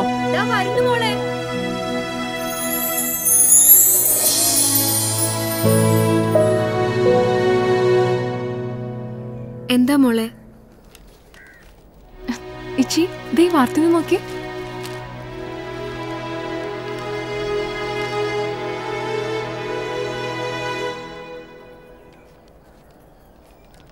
ഇച്ചിക്ക് ഇപ്പോഴും അലക്സിനെ മറക്കാൻ പറ്റിയിട്ടില്ല അല്ലേ? ഇനി മറന്നാലല്ലേ പറ്റൂ. എന്തായാലും അപ്പൊ അവൻ രക്ഷപ്പെട്ടല്ലോ. എനിക്കത് മതി. പാപ്പിച്ചി ഉമ്മച്ചി ഹജ്ജിന് പോയത് നന്നായി. എല്ലാം മറന്നു തുടങ്ങിയതാ. വീണ്ടും. ഞാനൊരു ഭാഗ്യമില്ലാത്ത പെണ്ണാണല്ലേ? കണ്ടോ എന്നെ ഒഴിവാക്കിയപ്പോ അലക്സ് ലോകം അറിയുന്ന ഒരാളായി. എനിക്ക് നഷ്ടബോധമൊന്നുമില്ല കേട്ടോ. സന്തോഷം മാത്രമേ ഉള്ളൂ. എന്റെ ഇച്ചി ഭാഗ്യമുള്ള ആളാ. അന്ന് ഇച്ചി അലക്സിനെ വേണ്ടാന്ന് പറഞ്ഞോണ്ടല്ലേ ഇന്ന് ലോകം അറിയുന്ന ആളായത്? അന്ന് ഇച്ചി നിർബന്ധം പിടിച്ചിരുന്നെങ്കിൽ അലക്സിന് പോവാൻ കഴിയായിരുന്നോ? അപ്പോ ഈ നേട്ടത്തിന് പിന്നിൽ എന്റെ ഇച്ചിയുടെ ത്യാഗമുണ്ട്. ആ ഇച്ചി പത്ത് മണിക്ക് എക്സ്ക്ലൂസീവ് ഇന്റർവ്യൂ ഉണ്ട് അലക്സുമായിട്ട്. കാണണ്ടേ? വേണ്ട മോളെ. ഇനി അലക്സിനെ കാണാനുള്ള ശക്തി ഇച്ചിക്കില്ല. കാണണം. ഇച്ചി പ്രായമാവുമ്പോ കൊച്ചുമക്കളോടൊക്കെ അല്പ അഹങ്കാരത്തോടെ പറയാലോ. ലോകം ആദരിക്കുന്ന ആ ശാസ്ത്രജ്ഞൻ ഒരിക്കൽ ഇച്ചിയുടെ റൊമനോ ആയിരുന്നെന്ന് റൊമാനോവോ? അതെ. എന്റെ ഇച്ചിക്ക് ഇത്തിരി പ്രണയവും ഒത്തിരി നോവും തന്ന ഒരു റൊമനോ. ഇന്ത്യയുടെ യശസ് വാനോളം ഉയർത്തിയ കേരളത്തിന് അഭിമാനമായി മാറിയ യുവശാസ്ത്രജ്ഞൻ ശ്രീ അലക്സിനും. അമ്മ ശ്രീമതി മേരിക്കും ഈ പ്രോഗ്രാമിലേക്ക് സ്വാഗതം. ശരിക്കും പുണ്യം ചെയ്ത അമ്മയാണല്ലേ? കാരണം അലക്സിനെ ഞങ്ങൾ ഈ പ്രോഗ്രാമിലേക്ക് ക്ഷണിക്കാൻ ചെന്നപ്പോൾ അലക്സ് വെച്ച ഏക ഡിമാൻഡായിരുന്നു എന്റെ എല്ലാ നേട്ടങ്ങൾക്ക് പിന്നിലും അമ്മയാണ് അതുകൊണ്ട് അമ്മ കൂടി ഉണ്ടാവണം ഈ പ്രോഗ്രാമിൽ എന്നുള്ളത്. അവൻ അങ്ങനെ ഒരു വിശ്വാസം ഉണ്ടെങ്കിൽ അതങ്ങനെ തന്നെ ആവട്ടെ. അലക്സ് എന്ന് പറയുന്നു ഈ നേട്ടത്തെക്കുറിച്ച്? ഈ നേട്ടം എനിക്ക് മാത്രം അവകാശപ്പെട്ടതല്ല. ഒരു ദൗത്യം വിജയത്തിലെത്തിക്കാൻ ഒരു പറ്റം ശാസ്ത്രജ്ഞന്മാരുടെ കൂട്ടായ പരിശ്രമം ഉണ്ടാവണം. കൂടാതെ പ്രത്യക്ഷമായും പരോക്ഷമായും മറ്റൊരുപാട് പേരുടെ അവരുടെ എല്ലാവരുടെയും പ്രയത്നത്തിന്റെ ഫലമാണ് ഈ വിജയം. പിന്നെ എന്റെ inspiration doctor A P J Abdul കലാമാണ്. അദ്ദേഹം രചിച്ച അഗ്നിച്ചിറകുകൾ എന്നും എന്റെ സന്തത സഹചാരിയായിരുന്നു. ഇച്ചയെക്കുറിച്ചൊരു വാക്കുപോലും പറയുന്നില്ലല്ലോ. മോളെ നമുക്ക് കാണാൻ പറ്റാവുന്ന ദൂരത്തെക്കുറിച്ച് മാത്രമേ ചിന്തിക്കാവൂ.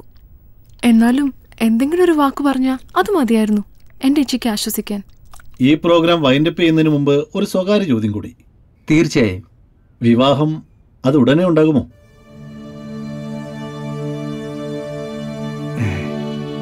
അതിന്റെ എല്ലാ തീരുമാനങ്ങളും അമ്മയ്ക്ക് വിട്ടിരിക്കുകയാണ്.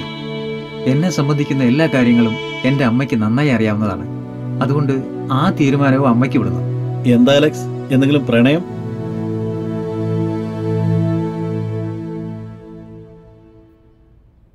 അവന് ഒരു പെൺകുട്ടി ഇഷ്ടമായിരുന്നു.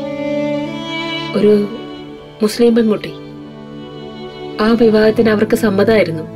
പക്ഷേ അവസാന നിമിഷത്തിൽ ഞാനാണ് ആ വിവാഹം വേണ്ടെന്ന് വെച്ച് അവനെ കൊണ്ടുപോകുന്നത്. എന്തുകൊണ്ട്? അതിനുള്ള ഉത്തരമാണ് ഇന്ന് നിങ്ങളുടെയൊക്കെ മുന്നിൽ ദേ ഇങ്ങനെ ഇരിക്കാൻ സാധിച്ചത്. അന്നവൻ വിവാഹം കഴിച്ച് ഒരു കുടുംബമായി ജീവിക്കാൻ തുടങ്ങിയിരുന്നെങ്കിൽ ഒരു പക്ഷേ നമുക്കിങ്ങനൊരു ശാസ്ത്രജ്ഞനെ കിട്ടുമായിരുന്നില്ല. അപ്പോഴാ പെൺകുട്ടിയോട് കാണിച്ചത് ഒരു ചതിയല്ലേ? എന്ത് ചതി? അവരുടെ പ്രണയം ആത്മാർത്ഥമായിരുന്നെങ്കിൽ സത്യസന്ധമായിരുന്നെങ്കിൽ എനിക്ക് ഉറപ്പുണ്ട്. അവനു വേണ്ടി അവൾ ഇപ്പോഴും കാത്തിരിക്കുന്നുണ്ടാവുമെന്ന്.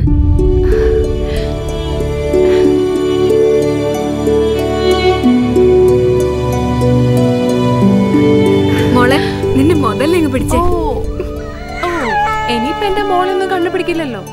പക്ഷെ ഇത്രയും നാളെ എന്റെ മോളും മോനൊക്കെ തന്നെ ഉണ്ടായിരുന്നുള്ളൂ. അത് മറക്കരുത്. ഒന്ന് പോടി മോളെ? എന്റെ പഠിച്ചോനെ ജീവിതകാലം മുഴുവൻ കാത്തിരിപ്പ് മാത്രാന്നാ കരുതിയത്. എന്റെ റബ്ബേ.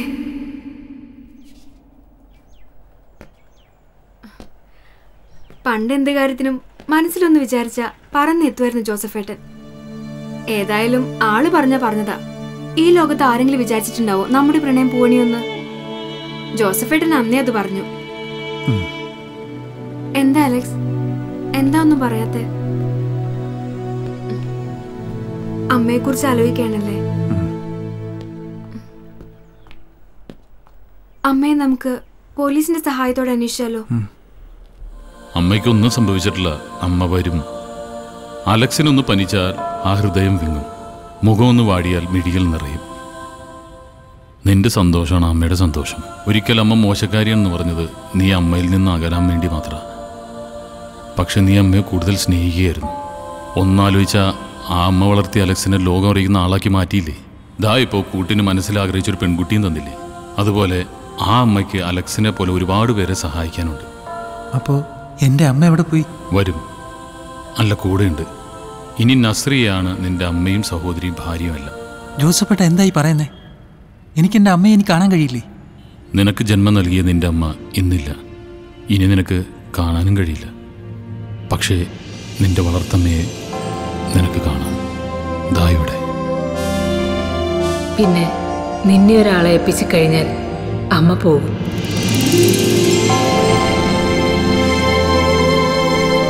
അമ്മ വരും നസ്രിയ. എവിടെ? വരും. ഞാൻ കാണുന്നില്ലല്ലോ. എനിക്ക് ഉറപ്പാ